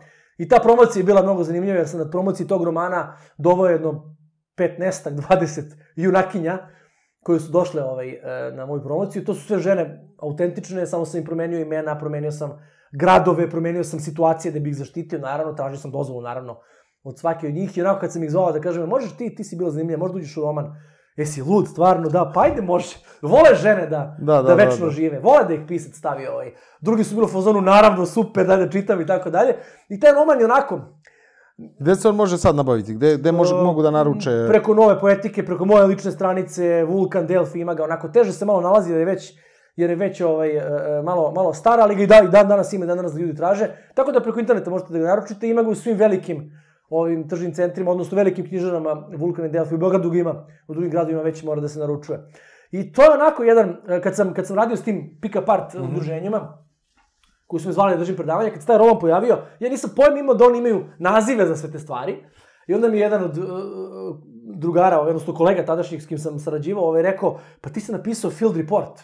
Ja sam rekao, šta je to field report? Kaže, pa to je kad ispričaš svoj događaj te noći. Kao ti si napisao ovde 50 field reporta, rekao, nemam pojma, ja sam samo pisao šta mi se dešava. Nisam imao ideju da to sve ima naziv i kada sam ja počeo da se bavim pick partom, ne jer je meni bio potreban, meni je pick part kao veština zavođenja nije potrebna, ja sam to imao u sebi uvek, ali mi je bilo potrebno zbog klijenata sutra da znam kad priča, da mogu da razumem šta priča, kad kaže šta je šuster mat, šta je push pull, šta je eskalacija, šta je kino, da ja, ja znam o čemu priča. I onda kad sam čitao neke uh, misterijeve romane, uh, uh, čitao sam dosta i, i igru od uh, Strausa, Jeffreysa i tako dalje, vidio sam u stvari, jebote, pa ja sam sve radio, nisam ne znam. Vidi pa ovo sam ja, vidi pa je moja ideja. Shvatio sam u stvari da su neki ljudi time bavili po Americi krajem 90-ih vrlo ozbiljno. Da, da, I da. da, izgradili su taj pick apart koji ja mogu da koji pitaju ljudi, devojke me često pitaju, ti klinci što se lože na te na to zavođenje, to stvarno radi. Radi. Da li ima neke druge probleme koje pravi čoveku? Da li te da li te metode koje, koje su pomenute u Facebook Predatoru, a ima ih i u tim knjigama. Ovo je inače jedna od retkih knjiga koja se bavi time da je prevedena na srpski. Imamo Mister, imamo, imamo uh, uh, igru od Strausa, imamo ovu moju knjigu. Nema, nema o tome mnogo. Nešto to je malo pisao Jova Toševski, ali ne na taj način. Ne više priča o, neuronauci, o neuronauci i muško-ženskom neurološkim razlikama ovaj, u mozgu. Ovo je jedina knjiga koja kroz taj roma, roman, romanski, odnosno romantizovani, odnosno, izvini, nisam dobro rekao, romanopisački format ovaj, uh, uh, pri, da. prikazuje da. takvu, da. tak, tak, takav sadržaj. Onda sam shvatio stvari da sam ja u stvari se bavio time ceo život, a da nisam pojma da to ima naziv. Onda sam morao dosta dobro da proučim taj pick apart, što zbog tih predavanja, a mogu ti reći da mi su neke fore sam ih pokupio pa sam ih testirao i mogu ti reći da rade. Dobro, znači preporučujem. Tako da, eto, mislim, bilo mi je korisno, ovaj, jer me ta, taj roman me potpuno probio i kao psihoterapeuta, zato što su ljudi kroz taj roman ili vrlo veliku uh, medijsku pažnju digao te 2014. Mada on pisan 2012. do se davno već pisan. Ja sad kad ga listam, onako malo mi to sam ja ovo pisao. Pa dobro, kao verovatno Šta je ovo, je, sve stvarno ovo radio, su pola pozaboravljao, ne bi sad to radio, mrzalo bi me. Ovaj, Tako da ovaj, oni digu veliku medijsku pažnju, onda kad su novinari videli da sam je psihoterapeut koji se bavi time, onda sam počeo da ulazim i u druge probleme, pa su me zvali i za seksualnu zavisnost, i za internet, i za ovo, i za ono. Tako da meni Facebook Predator promenio život preko noći. Nakon te promocije koja je bila u septembru 2014. Ovaj, meni se život preko noći promenio na bolje ovaj, i u poslu i ovako i preko društvenih mreža i nastavio sam da pišem i dalje i napisao još dva romana ovaj, koji su onako ovaj, jednako bili uspešni. Ajde, ajde da pomenemo i ta druga da, dva. Da, nakon, nakon, uh, nakon uh -huh. Facebook Predatora sam napisao njegov nastavak. To je roman Tablet. Tablet, da. Gde sam Evo, prikazao... Da ljudi da vide, da. Da. Dobro, da, da, nastavi, aha, izvini. Da, ovo je njegovo drugo izdanje koje je prošle godine izašlo, sad će uskoro da se štampa i treće. Ovaj, takođe ovaj, ga distribuira Nova Poetika, izdavač kuće Nova Poetika. Nažalost, moj stari izdavač Argus, Bus, Argus Books, ovaj, Lazar Janić je nažalost preminuo iznenada i onda ovaj, distribucija ovaj, preko nove poetike. Nažalost, to imao sam jako lepu saradnju sa pokojnim Lazarom ovaj, i mnogi, mnogi pisci, ne samo ja koji su, i Maja Volk i mnogi drugi koji su s njim sarađivali, Aleksandar Lambrus i tako dalje. Ovaj, Kođo, Kođo, Aleksandar Anđe, Kođo Magorski Anđelković bio je kod vas gost, on isto moj kolega pisac, piše sjajne romane o, o Gani i o špijunima, on isto sarađivao sa tim mojim pokojnim izdavačem. Tako da danas ga distribuira Nova Poetika, ima ga takođe u knjižarama da imamo i, i, i, i... On je nastavak zapravo. To je nastavak, Facebook. može se čita potpuno odvojeno, da. ali ima, ima nit, ima referencu. Uh, oni koji su čitali Facebook Predatora samo nastave, oni koji nisu mogu da čitaju odvojeno, ali imaju referencu da se negde tamo nešto dešavalo. Ovaj roman je geopolitička priča uh, i uh, psihoterapijski roman prvi u Srbiji, preveden na srpski. Posle Irvina Jaloma i Scott Peka, to je prvi, ja sam prvi mhm. psihoterapeut koji je napisao roman. Dobro. Ove, o tome gde sam ovog lika, odnosno moj alter ego iz Facebook Predatora stavio na terapijsku stolicu. Zašto si ti seksualni zavisnik? Zašto si ti to sve radio? I onda sam neki svoj lične terapijske sadržaje sa moje psihoterapije na koju svaki psihoterapeut mora da ide, pa moram i ja svako malo u životu moram da odem na 10-15 sati ličnog rada, da se malo ja provetrim i servisiram od posla i zbog života. Napravio sam taj roman da bude kombinacija tog psihoterapijskog dela i geopolitičke priče, kada se glavnom liku Predragu Petroviću, koji je lik u sva tri romana, pojavi jedan zanimljiv klijent na terapiji koga niko nikad nigde nije opisao, ja sam ga opisao, neću reći o kome se radi. Ovaj, uh, I to je geopolitička priča i psihoterapijski roman koji je malo otišao od seksa, sad su tu malo ozbiljnije teme, ovaj, geopolitika, politika, ko, ko ima globalnu svetsku moć i tu je jako lepu recenziju napisao Aleksandar Radić, moj drugar i kolega vojno bezbednostni analitičar. Da, da, da, On je uradio jednu dobru, ovaj, uh, dobru recenziju, ovaj, dobro je to razumeo, zato sam mu i dao. Ovaj, I taj, na taj roman sam ponosan jer je po meni mnogo dobro napisan, mnogo bolje urađen nego prvi, ali ljudi nekako kažu, pošto moji čitoci čitaju sve te romane, niko nema da čita jedan, svi čitaju sve, I onda mi kažu, ma kao super, ali kao predator je kao. Da, a meni onako, ja bih ga sad stvarno drugačije napisao, ali ne želim da ga, da ga, da ga ostavim takvo kakav jeste. Ove, ovde sam već naučio da pišem i naučio sam fore. A tad sam onako pisao potpuno... Ali nekako si povezao, čini mi se to ono, uh, seks, politika, moć, uticaj, Da. zavere. Ima seksa, on- ima a- seksa i, i u drugom, i u tabletu ima seksa, ali je on u jednoj drugoj funkciji. Da, da, da. I u funkciji tog promiskuiteta u kojem se pokazuje seksualna zavisnost. Ja sam u svom životu bio na granici, to se kaže abuzivno i zavisno. Pre nego što te pitam o tvom životu, ajde da pomenemo i treću knjigu kad smo već krenuli. Uh, ljudski aparat. Ovo je novo, ovo je, e, ja sam sad umeđu vremenu postao Lagunin pisac i Mhm. Dobro. izdao sam treću knjigu za Lagunu, evo, promocija je bila pre nekih manje od mesec i po dva uh, dana. To je moj roman koji, eto, ima ga zaista svuda, ovaj, vrlo je distribuiran u celom regionu, Bosni i Hercegovini, Crnoj Gori, uh, Republici Srpskoj federaciji, ima ga čak i u Hrvatskoj. To je sada jedna onako prilično uh, drugačija priča u kojoj se ova trilogija završava.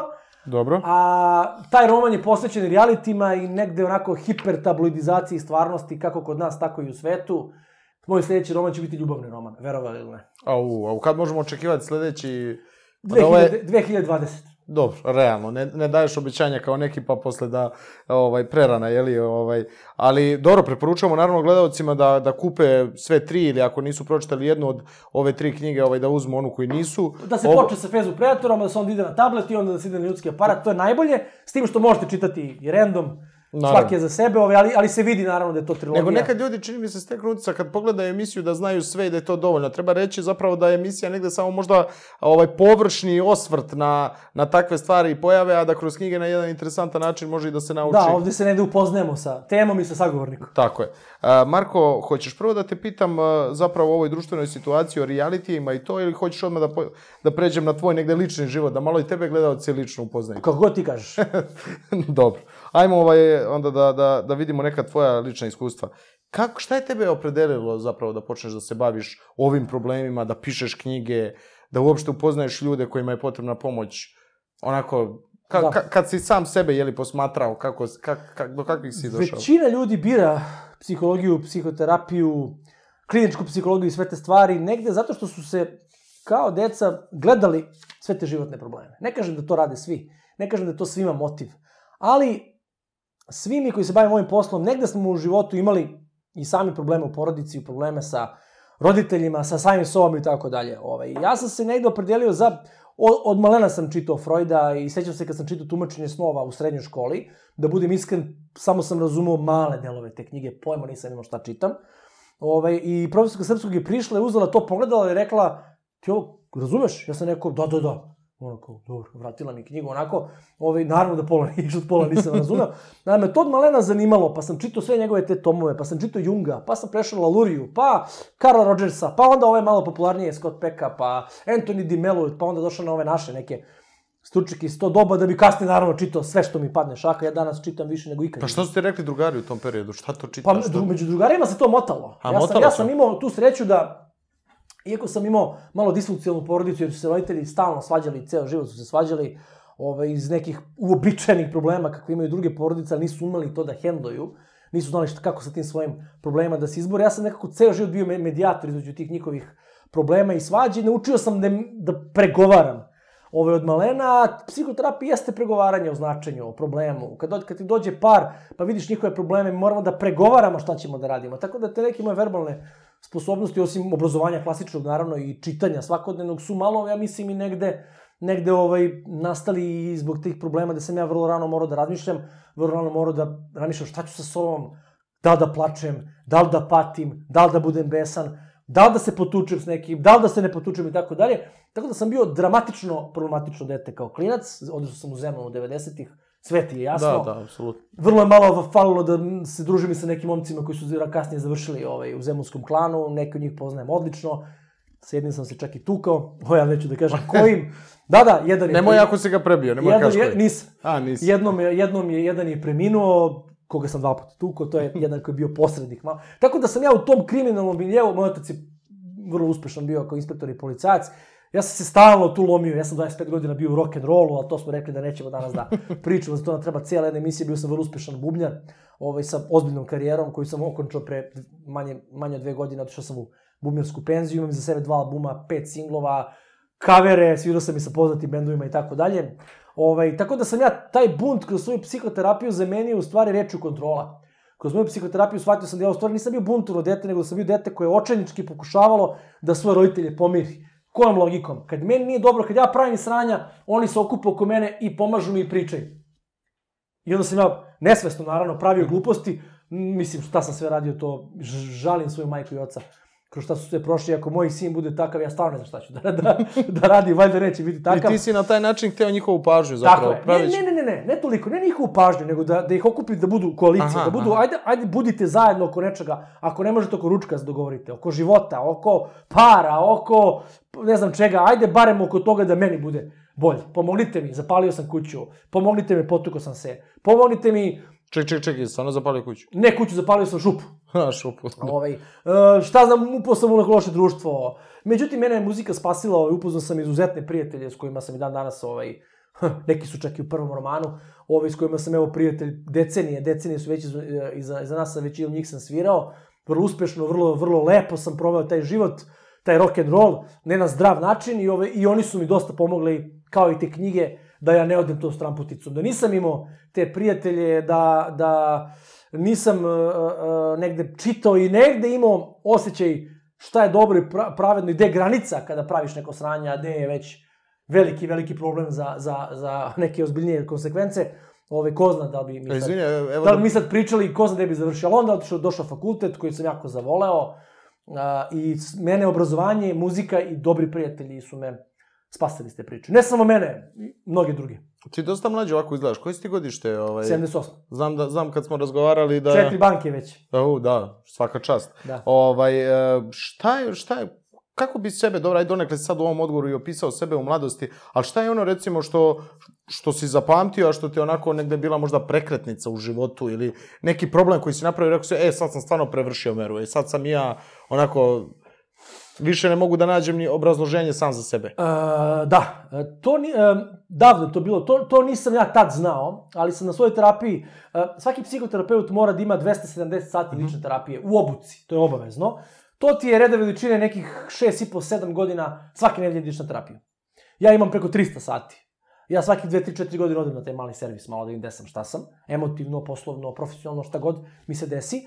I u toj prvoj, prvoj fazi, kroz obuku tih 200 i nešto sati, ovaj, uh, sjetio sam se jedne priče koja me dosta definisala. Uh, ja sam odrastao, da, zaboravim to ti kažem, ja sam prvih šest godina živo u Jerkoviću, pa onda u Zemunu. Znači, u sve bolje od boljeg, da. jasno ti jasno ti dva naj, najgore kraja po pitanju tog, to, te subkulture e, kriminala. Ovaj, e, I to u ono vreme kada je to bilo dramatično. Ovaj, e, tu sam se družio s nekim momkom, ja sad zaista ne znam ni više ni kako se zove, ni to leto smo se družili, on je trčao oko onog bazena sa peskom, koji je bio onako dubok, neki metar i po dva, i dok je trčao, ja sam ga samo gurno jedno. I on je pao i slomio ruku. Meni je bilo mnogo žao što sam to uradio, ali prvo nisam teo da mu slomim ruku. Zašto sam ja teo da njega da gurnem? Zašto sam ja to radio, ne znam, onda je moja baka pokojna došla, majka, njegova majka, drama, on je nosio dečko šinu.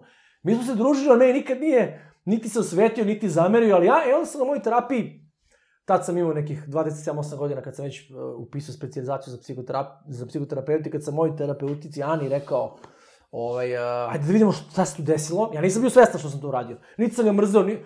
jednako sam zaboravio, ali mislim da nisam. Onda smo shvatili ovde, se vraćamo na ovu priču o tome da sam u stvari bio dete koje trebalo da kontroliše. Ja sam u stvari, posle tog događaja, naučio da kontrolišem, to je možda bio neki način da ja vidim šta će da se desi. I više nikad do tad, kad god šetam s devojkom, bivšom devojkom, prijateljem, pored nečeg što je visoko, gde može onda padne i uvek nekako kažem sebi, pripazi da ovaj dečko, pridrži ga, nemoj da padneš. Kad imam prijatelje, recimo, pa imaju decu, stalno gledam da ne padnu, da ne udaru nešto i tako daje. To je u stvari neko vežbanje kontrole. Znači, nikakva psihopatija, nikakva zla namera, nikakva, da ste meni rekao tad pašće, povredit će se ozbiljno, ga ne bi gurno. Nego, ja sam konkretno to uradio, naučio tu školu, ali nikad nisam to proradio do te 27. 8. 9. kad sam to ovaj, na terapiji proradio i da smo to povezali sa, tim, sa tom potrebom da stvari držim pod kontrolom. Od roditelja pa do danas. Mhm. -huh. Ja i danas volim da imam stvari pod kontrolom, ne volim nered, ne volim prljavo, ne volim bacanje stvari po podu, ne volim neke ribe s kojima sam bio, koji to provalo, mm -hmm. uvate pa namerno ovako gačice pa baci. Da te ne onda ja kažem, podigni to, ona se smeje, kao, pa čekaj da ti to uradiš, onda ja to podignem ili čarape namerno baci. I uzme pa mi pomere, ovaj, ovaj, ovaj, ćeba onako zgužuju ga, kao, pa što sad zgužula to tako da stoji, da te, da te zezam. Či znači, ja sam čovjek koji voli Ali nisam od onih ljudi koji preteruju, ne, nikakav OKP, naravno, ovaj, možemo mi sad da prostimo u čašu ovdje, nije, nije problem. Dobro, ne moramo, Ali bi da. volio, znaš kao, zašto, volim Ali kako reaguješ kad ne idu stvari onako kako si ti zamislio ili po onom nekom tvom... Pa vidi, na, na nekom globalnom nivou uh, imam tu frustracijnu toleranciju, hvala Bogu, ovaj, da, da mogu da kažem sebi, uvijek imam plan B, plan C, plan D. Ovaj, uh, kad pregovaram, pregovaram poslovno sa više strana i tako dalje, tako da nemam tu problem. Ono, svakodnevnom nivou, kako bih ti rekao, ja volim red, volim da je čisto, volim da je sređeno, volim da mi je auto čist, volim da mi je garderoba. Mislim, mislim da to bolje nego da sam neuredan, da sam, kad pišem, kad mi kažu, kako pišeš roman, to neka inspiracija. Ne, ja ga pripremim u glavi i sedim i pišem. Nema šta tu više, kakva crna inspiracija. Već sam to završio u glavi, popisao sam poglavlja. Ja sam štreber, ja sam onako dobar student, što se kaže. Uvek Disciplinovan, da. Uvek sam disciplinovan i iako se bavim tom umetnošću, pisanje, umetnost, ovaj, uh, ja sam disciplinovan i ja volim da imam plan. Ne volim random, ne volim uh, uh, pretranu improvizaciju, to nije uvek dobro, naravno. Volim da ja, i kad sviram, kad dok sam se bavio muzikom, volim da ja to dobro naučim, da to bude kako treba. Nisam volao puno da improvizujem i tako dalje. To je možda zbog toga što ovaj, negde, da sam improvizovao kao klinac, Ko zna gde bih završio da sam ja klinac improvizovao sa kriminalom, improvizovao sa vatrom, improvizovao s tučom ili improvizovao s fakultetom, pa završio neki pogrešan fakultet i sad bio nesrećan čovek koji je pravnik, a hteo da bude pisac i, i bio mi jedan čovek davno i rekao, je pun, pun para, koji je život bio sređen, bio tužan. I kad smo negde elaborisali njegov sistem i njegovu pritužbu, on je rekao, ali sve je to lepo, ja nisam glumac. Znaš, mnogo je teško kad čovek A to je hteo, jel? shvati da je te odzab... E, ja bih vratno bio takav nekakav tužan tip da sam previše improvizuo i mislim da zbog toga ne volim improvizaciju i volim kad ja spremim roman, da je on spreman za pisanje, nikad nisam imao blokadu. Kad pišem kolumne, kad pišem tekstove, pripremim u glavi, tačno znam šta ću da pišem, dok ne znam, ne objavljujem i dok ne znam, ne šaljem. Eto, takav sam. E, ajmo još jednom da se vratimo jeli, u taj ti- tinejdžerski period. Kakav si ti, ti bio u mladosti što se tiče devojaka, što se tiče izlazaka? E, o okruženju si rekao, mislim da je svima jasno, pomenuo si ovaj e, Zemun, e, Kumodraž, ali i, jesi imao dodira s drogom, evo, naj, i sa ovim stvarima ko, s kojima se danas baviš, sa... Kao klinac ne, kao klinac ne, kažem ti imao sam nekakav, imao sam, bio sam, bio sam vaspitano dete, ne mogu da kažem roditelji, Mhm, mhm. uh, otac, majka, uh, uh, tetka, baba, uh, su me vaspitali da otvorim vrata, da kažem dobar dan, da se javim ljudima, da ne bacam đubre kroz prozor, da prosto imao sam te nekakve osnovne manire, tako da se ja neki preteranom, preteranim kriminalnim i nedozvolj, nedozvoljenim radnjama kao dete nisam bavio. U tom smislu sem tih nestašluka velikih i evo tog događaja koje sam ti ispričao. E sad, naravno, ovaj, eksperimentisanje sa svim tim stvarima su došle kasnije. Ja sam u zrelim godinama eksperimentisao sa gotovo svim drogama, nisam od onih koji to radi iz zabave, nisam od onih koji to rade da mogu da priđu devojci, nisam od onih koji to rade da dobiju samopouzdanje. Ja sam eksperimentisao sa LSD-em, sa DMT-em, sa psilocibinom, to su magične pečurke. Probao sam i sve drugo, ali to nije, nisu moji, moji afiniteti. Naravno, alkohol, dobro, bio sam rocker, naravno. Probao si kokain, heroin. Da, ne, ne, heroin nisam probao. Ne, heroin ne. Ovaj, e, tako da, probao sam sve i zaista mislim da je to veliko bogatstvo zato što za, sad znam kad mi dođe klinac koji ima probleme sa marihuanom, znam šta treba da se radi. Kad mi dođe neko koji ima probleme sa nafetaminima, ja znam gde da ga pošle, znaš njim treba da se radi, znam šta uzimao. Kada mi dođe neko ko je problem, ima problem sa alkoholom ili je u fazi, tre, u trening fazi, imamo te tri faze, alkoholna trening faza, toksikomanski terminalna faza, ja znam o čemu priča, znam šta je viski, znam kako izgleda kad mešaš koktel, znam ka šta je, šta je speedball. Znam šta su psihodelici, znam šta ti rade psihodelici, znam šta je amazonska medicina, znam šta je ayahuasca, znam šta je i boga, znam šta je meskalin. Ove, I ja sam probao i mogu da ti kažem da sam ja od onih ljudi koje me to prijelo i koje je to upgradeovalo. Pošto emisija ide i vrlo je gledana, moram da kažem, droge nisu za svakoga. Neko ne može da podnese drogu. Ne može da podnese taj gubitak kontrole i ne može da podnese ono što, one uvide koje mu droga donosi. Kad kažem uvide, mislim na ovim ozbiljnim drogama, znači psihodelicima. Što se tiče ovih drugih droga koje su za partijanje, ja zaista niti sam čovjek koji izlazi noću, niti volim buku, ja sam ceo život proveo po kafanama svirajući, po pubovima, ja tu vrstu tog vikend drogiranja niti radim, niti me privlači.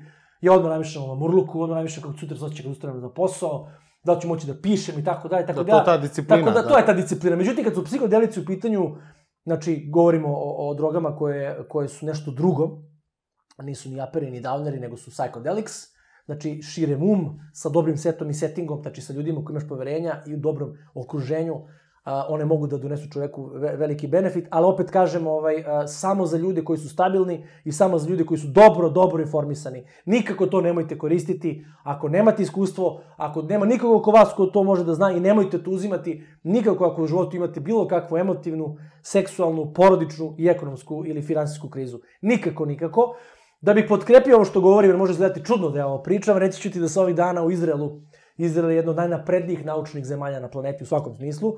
Trenutno se u Izraelu dešava seminar na koji ja nažalost nisam a, a, na kojem ja nažalost ne prisustujem, nisam otišao a, za psihoterapeute, psihijatre i psihologe vezano za upotrebu MDMA-a i upotrebu psilocibina u terapeutske svrhe.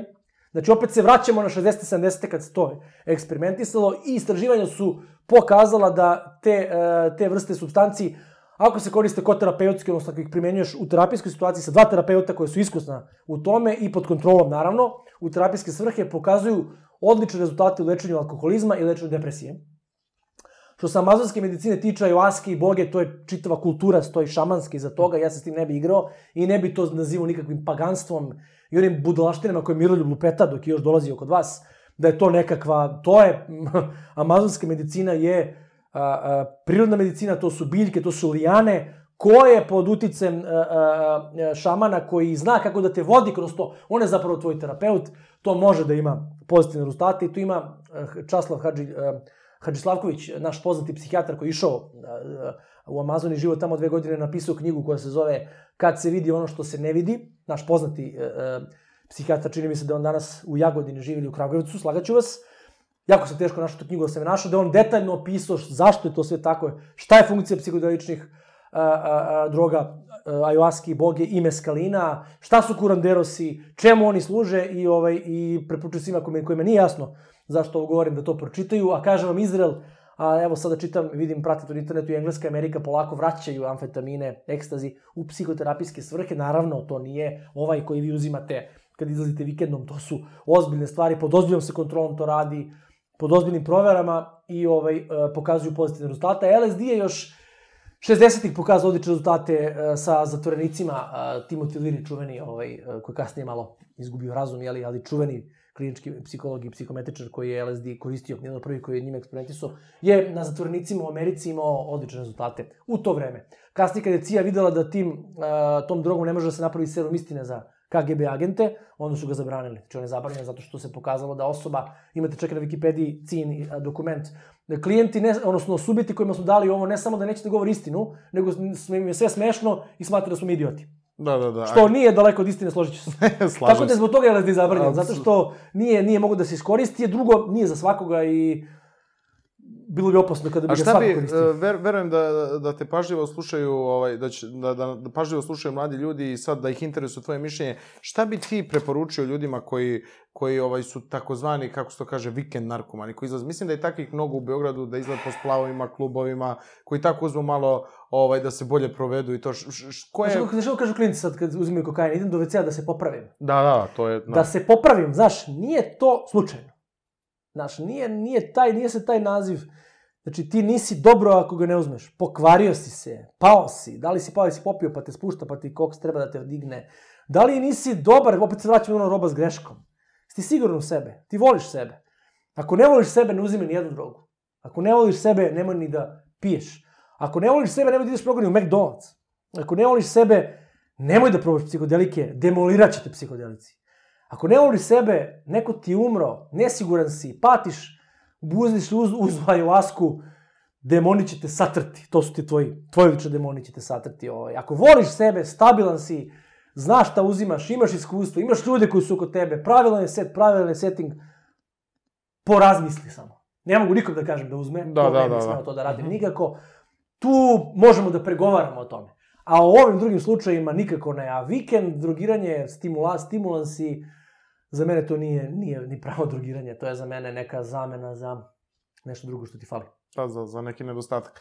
Evo, s obzirom, Mili, da, da pričamo o tebi, o, o tvom životu, jesi imao ti problema sa ženama, sa, generalno, jesi imao te neke krize tog tipa, dok, ovaj, dok si bio mlađi, ili... E, e... Ja sam do neke 19. godine imao kosu, tako, jedno vreme do ovde, pa i do ovde, verovo ili ne. Imao sam puno bubuljica. Ovaj, a, I imao sam naravno prvih par godina dosta neuspeha. U stvari, ja sam bio do onih klinaca koji nije mogao da ima one devojke koje on želeo, nego su to bile one koje mi se nisu previše dopadale. I uvek sam imao, imao, imao devojaka oko sebe, jer sam bio harizmatičan, zanimljiv, ali nikad nisu to bile one devojke fizički koji izgledaju onako kako bi ja hteo. Međutim, na moju sreću, to je kratko trajalo, ja sam već u 19 ošišao se do glave, ovaj, uh, to je bilo onako, znaš, nije bila laka odluka. Sad, Kako- kako sad me laka? baš, sad me baš briga. Znaš kako me briga sad? Da li imam kosu ili nemam kosu? Ovaj, naprotiv. Ovaj, uh, onda sam to uradio i počeo da treniram kao i svaki klinac zemunac teretana. U teretani sam mogu bi roman da napišem kakve likove upoznavao. To su bile, nisu bile teretane koje vi danas imate, digitalne sprave, pa onda trener, personalni, pa 100 evra mesečno, pa ti imaš trenera, pa to... To je bilo podrum, tegovi, raspali, smrdi, nema klime, provetrava se, čovjek ti naplati neki pet maraka, izađe, ti sam tamo stojiš, nemaš više ono da se ti na internetu e, na, YouTube imaš tutorial i to su mi nekako klinci sami sami ovaj, trenirali, učili ovaj, i tu sam se malo popravio, malo postao razvijeniji, obrio tu e, o, o, glavu i tu kosu nekako koja, ne znam, onako, bila mi je lepa dok sam imao 5, 6, 7 godina, kasnije nekako mi ta kosa masna, strašno, bila bila neprijatna, ni nije dopadala. I onda kad sam to uradio, počeli su stvari da idu na bolje, ali kažem ti, ja sam do neke sigurno, pff, slagaću te više, pa sam pola života i zaboravio. Tu neke 27. 8. 9. bio stvarno u nekoliko jako, jako dugih veza sa nekim malim periodima između. Tako da nisam puno žena ovaj, do neke 27. 8. E onda, kad sam ne, napravio neku karijeru za sebe, shvatio, došao do interneta, do Facebooka, shvatio moć Facebooka, ne samo u smislu dolazaka do, do partnerki, nego i poslovno, i marketinški, i informativno, naravno. Sve, ovaj, e onda je to nekako, kako bih ti rekao, do neke tamo 30, slagaću to opet, koje, Mhm. šest, pete, šeste, je to bilo onako prilično, ovaj, binge, što bi rekli amerikanci, i tu sam onako sve nadoknadio puta deset. I sad sam onako, znaš, može, ne mora. A kako, kako živiš sad, stvarno? To, to je sledeće pitanje, mislim, ovaj, s obzirom, je li, e, na posao kojim se baviš, koliko problemi drugih ljudi tebe opterećuju i da li te opterećuju, kako... A, pa privatno ako me pitaš, ovaj, trenutno sam solo i nisam nikad bio dugo, kad kažem solo mislim nemam devojku, uh -huh. nikad ovako dugo nisam bio solo i treba mi veza. Javit će se posle emisije neke ja sam devojke. čovek, ovaj, ja sam čovek koji je u suštini monogaman, evo, kada se opet se vraćamo na mm -hmm. poligamiju, monogamiju, znači ja sam poligamiju stvarno doktorirao, ovaj, ali, ali ja sam čovek koji kad bi morao da bira, da imaš sad jednu ženu do kraja života, dobru ili još 50 žena, bez razmišljanja bi prihvatio da sad imam devojku i da budem s njom zaista dokle god imam dete i tako dalje, tako da sam ja zaista suštinski poligaman, ovo je bilo prosto stice okolnosti, prilike, lepo je to, znaš, lepo je kad menjaš devojke, ne mogu da kažem. Ali sve što sam stariji, sve više nekako mi je to naporno, fizički mi je naporno, ovaj, i ja bih sad volao devojku. Ovaj, a kažete, pre toga sam uglavnom bio u dugim vezama. A što se ti tiče posla, a što se tiče- tiče posla, da, to je dobro pitanje. Pa znaš kako, a, a prvih 7, 8, 9 godina nisam imao burnout. Puno sam radio, puno sam pisao, puno sam i radio i pisao o tome o čemu radim. Ovaj, međutim, prvi burnout sam osetio pre tri leta, kada sam počeo da zaboravljam stvari. Ko nikada pre nisam zaboravio, shvatio sam da mi više odmori od 10 dana, 15 dana nisu dovoljni, nego da ja moram da radim cele godine i da se odjavim duže, mesec i po dva. Ove, jedno sam prvi put uzao onog tamo leta, jedan duži odmor, gde nisam zaista ništa radio mesec i po dana, putovao išao na more, sedao po kafićima, nisam čak ni pisao, i shvatio sam da me to onda regeneriše da mogu da radim još celu godinu. I sad ja, bukvalno, moj život je takav da ja sad radim do, ajde da kažemo, jula, avgusta i onda ću se odjaviti do oktobra. Znači, ne primam klijente, samo hitne slučajeve, naravno, ovaj, i zaista onda ne radim ništa 5, 6, 7 nedelja, takav odmor me sad okrepi. Tako da se osjećam naravno malo zamor materijala, ali se trudim tim odmorima da ga neutrališem. Gledam sad malo, čitam ove autobiografije nekih mojih značajnijih i uspešnijih kolega u svetu. Oni su radili tako što su 3, 4, 5 godina aktivno radili, pa onda uzmu pošto su svi radili po nekim državnim institucijama kao predavači redovni vanredni profesori, oni onda dobiju pola godine sa, pola, a, sa celom platom ili godinu dana s pola plate slobodno i sa pola plate što oni lepo žive, oni godinu dana ne rade ništa. Da. Da. Ljudi godinu dana ne radi ništa, Da, pa on, ja bi onda mogao da imam onoliko posla i onoliko da radi koliko radi Jalom ili, ili ove neki drugi. Kad oni godinu dana imaju pauze, ja nisam nikad zaista imao više od mesec, mesec i po dana toliko pauze, ne radi ništa. Tako da on njima je mnogo lakše u životu, bolje živi, imaju više para, prodaju mnogo više knjiga, njihovo predavanje. Sad sam gledao Žižeka i Jordana Petersona, rasprodali su celu Da, da, ovaj salu, drugi. rasprodali su sinoć celu salu i cene su bile od 30 do 113 dolara karta. Da, da, da, da, to je nezamislivo kod nas. E, meni je knjiga 7-8 dolara ili 5 dolara, predavanje je 300-500 dinara, naš 1000 dinara, a njima 113 dolara Da, i da, dođe da. 8000 ljudi, oni mogu s tim parama da pola godine ne rade ni jedan ni drugi ništa. Tako da njima lakše da, da, da budu produktivni nego nama, ali ovaj, n, vrat- da se vratim na taj burnout, nemam, nemam, prvo radim slučajeve koji mi prijaju, ne radim sa bilo kim više, u smislu ne radim sve probleme, neke stvari sam prestao da radim, tako da sad mogu da biram s kim ću da radim i to me odmara i to mi je lakše. Ovaj, a kad osetim burnout, uzmem veliki odmor najčešće na leto, tamo kraj sezone kada nije velika gužva. Pa kako osetiš, Brna? Pa, A, um, krenem da zaboravljam stvari koje nisam zaboravljao, osetim da mi misli odlutaju kada pričam sa nekim. Ja naravno, ja sam od ljudi koji ti kaže, izvini, možeš da ponoviš zadnju rečenicu, malo sam Da. odlutao, nikakav problem nemam sa tim. Ja govorim otvoreno i imam bliske odnose sa svojim klijentima koji mi vole zbog toga, ne prodajem šarenu lažu, kad kažem vidi problem je težak, treba će ti 30 zanosima, to stvarno mislim. Kada kažem bit ćeš dobar za tri nedelje si u redu, kad kažem bit će jako teško, onda će biti jako teško, ne lažem ljude. Ono što znam da je mnogo teško i naporno ne radim, kažem, prebacim kod nekog ko ima više ovaj, vremena i, i iskustva ili znanja, ili kažem, trenutno ne, ne primam. Tako da se tako čuvam od, od zamora, a kad osetim, kažem ti da onako gledam na sat, kad osetim da, da mi se ne ide na posao, a moram da radim, onda lepo najavim odmor i odmorim se. I, ovaj, I mislim da ću moći još 7-8 godina da guram, onda kad budem imao 20 godina staža, onda ću početi ja tako da uzimam po pola godine. Mislim da ću biti Mislim da ću biti klasika kao i svi drugi, znači bit ću kliše, vratno ću početi da odlazim na pola godine negde, pa da se vraćam, mislim, pretpostavljam da će to biti tako. pa dobro, naporan, naporan. Pa da, koliko te Nije, prijatelj... la, nije lak posao, jer, jer, jer, znaš kako, mislim, prvo te učini jako osjetljivim na sve, drugo vidim unapred šta će da bude i u svom životu, a kamoli, Da, da, da, to a kamoli baš u tuđem. I- Imao sam jednog doktora, on je bio uh, uh, ORL, i onda mi je rekao, ja kad ustanem ujutru i kad stisnem ovde malo, tebe malo zaboli, ti difrinul ideš dalje, odmah namišljam gušavost, angina, da nije ovo, da nije žutica, da nije... Le... On ima 10-15 dijagnoza, što je to pipnu i on ništa, ja pipnem i bit ću dobro. Da, da, da. kaže, ja kad pipnem, možda bude što stvari. E, tako ja u, u svom žiliču životu poznam neku devojku, odmah vidim, "Uf, sto problema Da. će da bude bolje, nemoj. A neko drugi bi ušao i lepa zgodna, ajmo. Da, da, a ja da. rekao, čekaj, čekaj. Nekad je bolje neznanje. Nekad je, nekad je bolje ne... Aha, crvena plava tableta. Znaš, ja sam mu davno uzeo crvenu i nema nazad, a Žižik je rekao, dajte mi neku treću. ovaj, a što sam sad teo, evo, pobeže mi misao, Marko. A da, ovo sam hteo da te pitam, koliko te prijatelji, poznanici ovaj, cimaju da im nešto pomogneš, da im daš savet, da ovo, da ono, koliko ti je to naporno i... Isto koliko ja njima. Da, i- Pitam ja njih. Pitaš... Šta da radim? Pa znaju me ceo život. Šta? Aj, možeš da napraviš ono, da razgraničiš privatan Uh, život terapija i- se ne radi sa ljudima koji su ti blizak rod, blizak, blizak rod i koji su ti dugogodišnji prijatelji. Ne možeš da budeš objektivan. Nije možeš ti nikad da budeš objektivan. Ali kod njih tek ne možeš. Tako da ne radim s njima, naravno, ali pomognem, uputim, ako su u pitanju rođaci, rodbina, od druga, drug, uvek izađemo u susret.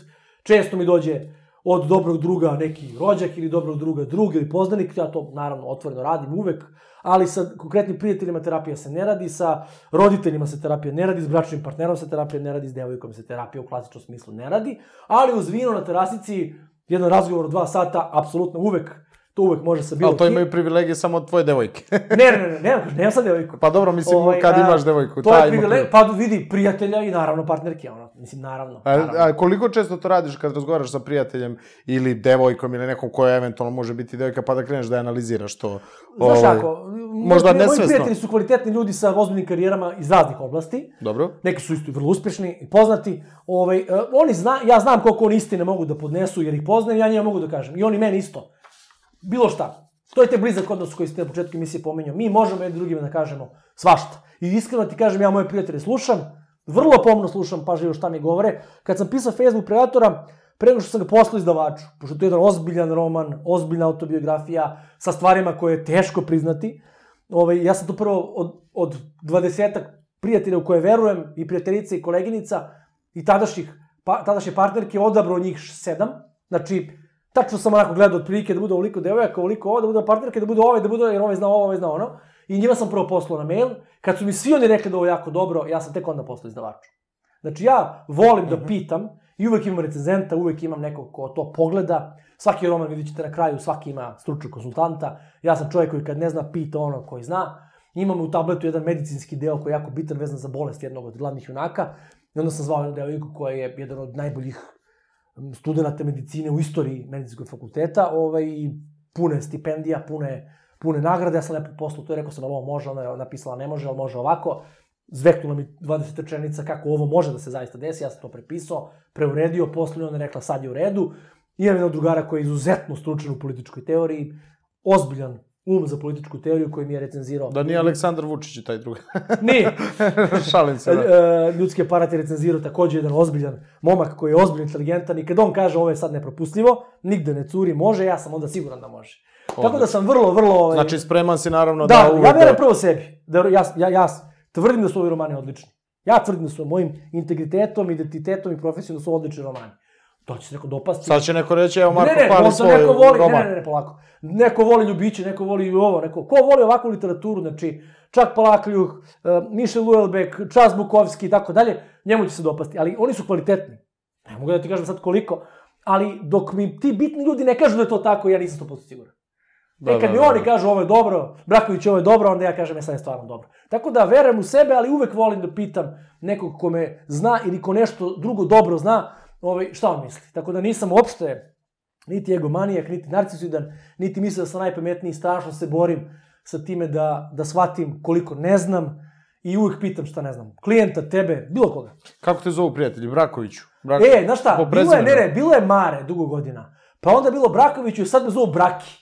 Braki, jel? Pitaj Boga zašto, tako da me sad zovu Braki. Eto. Dobro, ovaj, Marko, e, pomenuo si sad, e, jeli, političku teoriju. Dakle, kod tebe je interesovanje uopšte za geopolitiku, za ta politička kretanja? Mislim, dobro, shvatili smo kroz, do, ovaj, kroz dosadašnji e, tok emisije da si onako zainteresovan za više sfera i da, da, da dosta, dosta stvari e, pratiš i to vrlo dobro poznaješ, ali odakle sad i za geopolitiku, politiku? Pa zato što mi je, ja sam, a, pričam ova prva tri romana, jako sam, jako volim tu priču, inače sam to lično volim takve filmove i takve knjige, gde se desi nešto što je veće od života glavnog junaka. Uh -huh. Znači on ima neku životnu priču, naput se desi nešto veće od njega. Um, Elijeni, uh, rat, demonstracije, politička previranja, onda to njegovu, njegovu ličnu dramu dovede na jedan više nivo. Od uvek sam takve romane i knjige i serije voleo i takvi su moja sva tri romana. Svi, svaki put taj glavni lik koji je obično isti, ko se provlači ovaj, kroz sva tri romana, uvek ga nešto veliko zadesi. I onda sam imao jednu super priču vezanu za a, intervenciju Ruske u Siriji, kada je to počelo da se pomalja 2013. 14. Ovaj, tad sam pisao tablet i onda sam ubacio tu geopolitičku priču. E sad, ne lezi vraže, da bi ja nju mogu da napišem verodostojno, ja sam toliko morao da sedim u kafani, da pričam sa ljudima koji su izuzetni u tome. Toliko pričaju i sa a, geopolitičarima, toliko pričaju sa ljudima iz politike, imam puno poznanstava, puno inside priče imam, ali neću da ti pričam da ne bi kao više kruna išao tamo da idemo, da ne bi tvoj podcast bio zatvoren i mi ćemo to da preskočimo jer ja jako mnogo toga znam o tome, nažalost, i uglavnom mi se loše.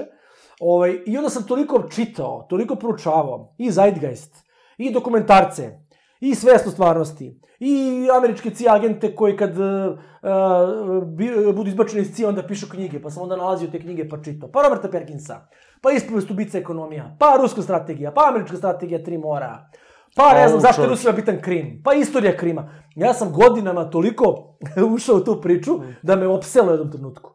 I napisao sam taj roman koji je jako dobro Koliko prošao. spavaš ti dnevno? Ovaj, Ne, ne, to je bilo pre. Čekaj, čekaj, čekaj. Pa, To je tad bilo. Ovaj, e, to ostavilo posljedice na mene, naravno, to je očigledno.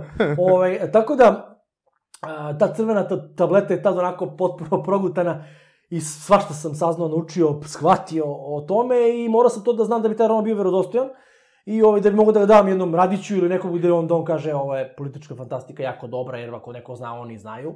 Bilo tu još recenzenata. Tako da, ovaj, uh, od tada je to počelo, pre nekih čak 4, 5, 6 godina. Da, uh, međutim, trudim se evo zadnjih godina da malo gledam K1, gledam malo kickbox, gledam malo mečeve nekih poznatih ovaj, um, zvezda borilačkih sportova i veruj mi, to me toliko odmori, pred spavanje više ne gledam portale, ne gledam televiziju, ne idem na YouTube, ne gledam ništa, malo vezano za nauku, malo vezano za društveno komunističke stvari, malo dobre serije, dobri filmovi i malo gledam sport i evo već par godina Kakav sam bio ranije, ti me ne znaš, ovaj, od ranije to je bilo strašno kako sam bio opterećen time. Tako da sam sad mnogo bolji i kažem ti, pre, prelazim na ljubavni roman, a politici ću se vratiti, tačnije jednoj partizanskoj priči ću se vratiti 2022. treće sa petim romanom koji će se baviti Jugoslavijom nakon oslobođenja. I jednom zanimljivom psihijatrijskom pričom koja se malo zna, pa ćemo se vidjeti ovde da pričamo o Au, tome. To će biti jako zanimljivo. A, da Siguran sam, biti. vrlo I zanimljivo. tu će opet trebati prikupljanje po- podataka, taj takozvani search, koji je naporan i koji te promeni, ovaj, ali će sledeći roman biti potpuno rasterećen, jedna autobiografska priča o meni, o mojim nekim životnim problemima vezanim za žene i tu neće biti nikakvog velikog buma, nikakve intervencije u, ne znam, Krimu, Saudijskoj Arabiji, Libiji, ničega u politike neće biti, bit će samo jedna melodrama ljubavna koja će, nadam se, biti lepa. Ovaj, tako da ću se sigurno odmoriti od toga nekoliko godina, jer veruj mi, ovaj, Jel utiče na mentalnu Pa kako da higijenu? ne, kako da ne? Pa ja mislim, nervirate. Nervirate narativ koji je napravljen za IQ 90. Svako, ne daj Bože da se da neko danas postane jako inteligentan, jako obrazovan, vidjet će užas oko sebe. Ako si gledao film Oni žive, Ne mogu da se setim. kad Da. oni stave one naočare pa vide stvarnost, pa skinu naočare pa vide u stvari nešto drugo. E, kad staviš te naočare jednom i vidiš stvarnost, vidiš šta reklama zapravo govori, vidiš šta ovaj političar zaista u stvari priča, vidiš šta stoji iza toga, užasno je. Taj osjećaj je užasan i s njim se treba izboriti. Čovjek je besan, čovjek bude užasnut, depresivan. Vidi da je makrosvet potpuno izgubljen. I onda ti ostaje samo mikrosvet, tvoji prijatelji, tv- tvoja devojka, devojke, roditelji, posao i tu probaš da napraviš neki red. Preko toga je, bojim se, uzaludno i zato neću da ti pričam. Da. Ne, bi- ne bismo imali problema, a i ništa nećemo promeniti. Samo ćemo mi da najavimo. Da, i otiće nam možda emisiju u negativu. Otiće emisija u pravcu koja, vidi, bit će besmislena. A, a, a pričali smo, da, pričali smo o Ništa dosta korisnih, korisnih stvari. E, ja sam htio da te pitam nešto i za reality, za te stvari, ali evo imaju ljudi u knjizi Ljudski aparat o tome da pročitaju tvoje stavove i negdje i verujem da, da, da je to još jedna od stvari koja je onako... Pa tu će koji moći da vide, u ljudskom aparatu će moći da vide negde šta je to zapravo i po mojoj proceni kuda to sve može da ode za za recimo 5 godina. Tako da tu mogu da nađu odgovore na ta pitanja vezana za medije reality u svetu. I... Pa Marko, ja bih privodio polako kraju emisiju, ne znam koliko razgovaramo, čini mi se negde oko, uf, ima preko sat i po, ovaj, ako se ne varam, ako sam lepo sad preračunao. Uh, šta bi onako poručio gledalcima za kraj, da li nešto što smo eventualno preskočili, što bi voleo da pomeneš, ili ovaj, generalno neku poruku da pošleš ljudima koji gledaju ovu emisiju, kako, Pa kako da se bore sa Prvo, ja sam jedan od prvih fanova Balkan Infa, da ti kažem. Na tome ti uvijek- hvala, zaista. Zato što, znaš kako, hvala vam puno, vi ste vrlo hrabri i imate vi neke svoje manjkavosti. Naravno, ali, ali vidi, da ti kažem nešto, uh, toliko je medijski prostor mm, pun bedastoća, toliko je sužen. uh, Ljudi misle da ovde je najgore situacija. Pogledajte u Americi, u Americi je sve reality. Po ceo dan su reality, žene psihijatara reality, žene Rusa u Londonu reality, uh, bivši na plaži reality, kako sam imao seks sa četiri ribe, rea- sve reality, tako da je situacija jako loša generalno. Pogledaj političara na polju, pogledaj Trumpa, pobogu Trump je predsjednik Amerike. Da je Hillary bila, bilo bi još gore, što je najgore. On je bolji izbor, a onakav je. Da. Tako da, mislim, svet je toliko otišao... otišao... Nemoj sada u politiku da odemo. Ne, ne, ne, ne. Sve je toliko otišao do vraga da, da jedan Balkan Info kad se pojavi da se ja mogu da vidim neke zanimljive ljude, ovaj, čujem, čujem zanimljive stvari, ovaj, meni bi jako zanimljivo i meni je drago što sam ovdje i što držim ovu crnu Da, čuvenu, crnu. ali moram da te prekorim, gde je 100? A, 100, da, to pitaju mnogi. 100 je trenutno što se kaže na opravci, moguće da ćemo iznenaditi gledalce pa ćemo ga Znači, hoću onako da onako ga počistim ruku od prašine. Znaš, to svi urade. Da, Da, da, Tako da, da. hvala ti puno na pozivu. Ovaj, podržavam naravno ceo ovaj vaš podcast. Jako je dobar i znam da se dosta gledate i u Hrvatskoj i u Da, da, u regionu. regionu, da. Pozdrav za sve koji ovo gledaju. Ovaj, gledajte ovakve stvari jer na internetu još uvek koliko toliko može da se nađe nekakav tračak istine. Sve drugo je laž, spin i manipulacije da bi se uzele pare. Marko, hvala ti zaista za ovo gostovanje, hvala ti za ovako, ovaj, rekao bih, eh, pun emocija, govor i ono kako ti, kako ti ovaj, umeš i da ostaviš utisak i na zanimljivoj emisiji. Želim ti puno sreće i uspeha u daljem radu i siguran sam da se vidimo i nekom narednom prilikom kroz neko vreme, pa da razgovaramo i o novoj knjizi i o stvarima koje možda nismo sad dotakli. Hvala ti puno.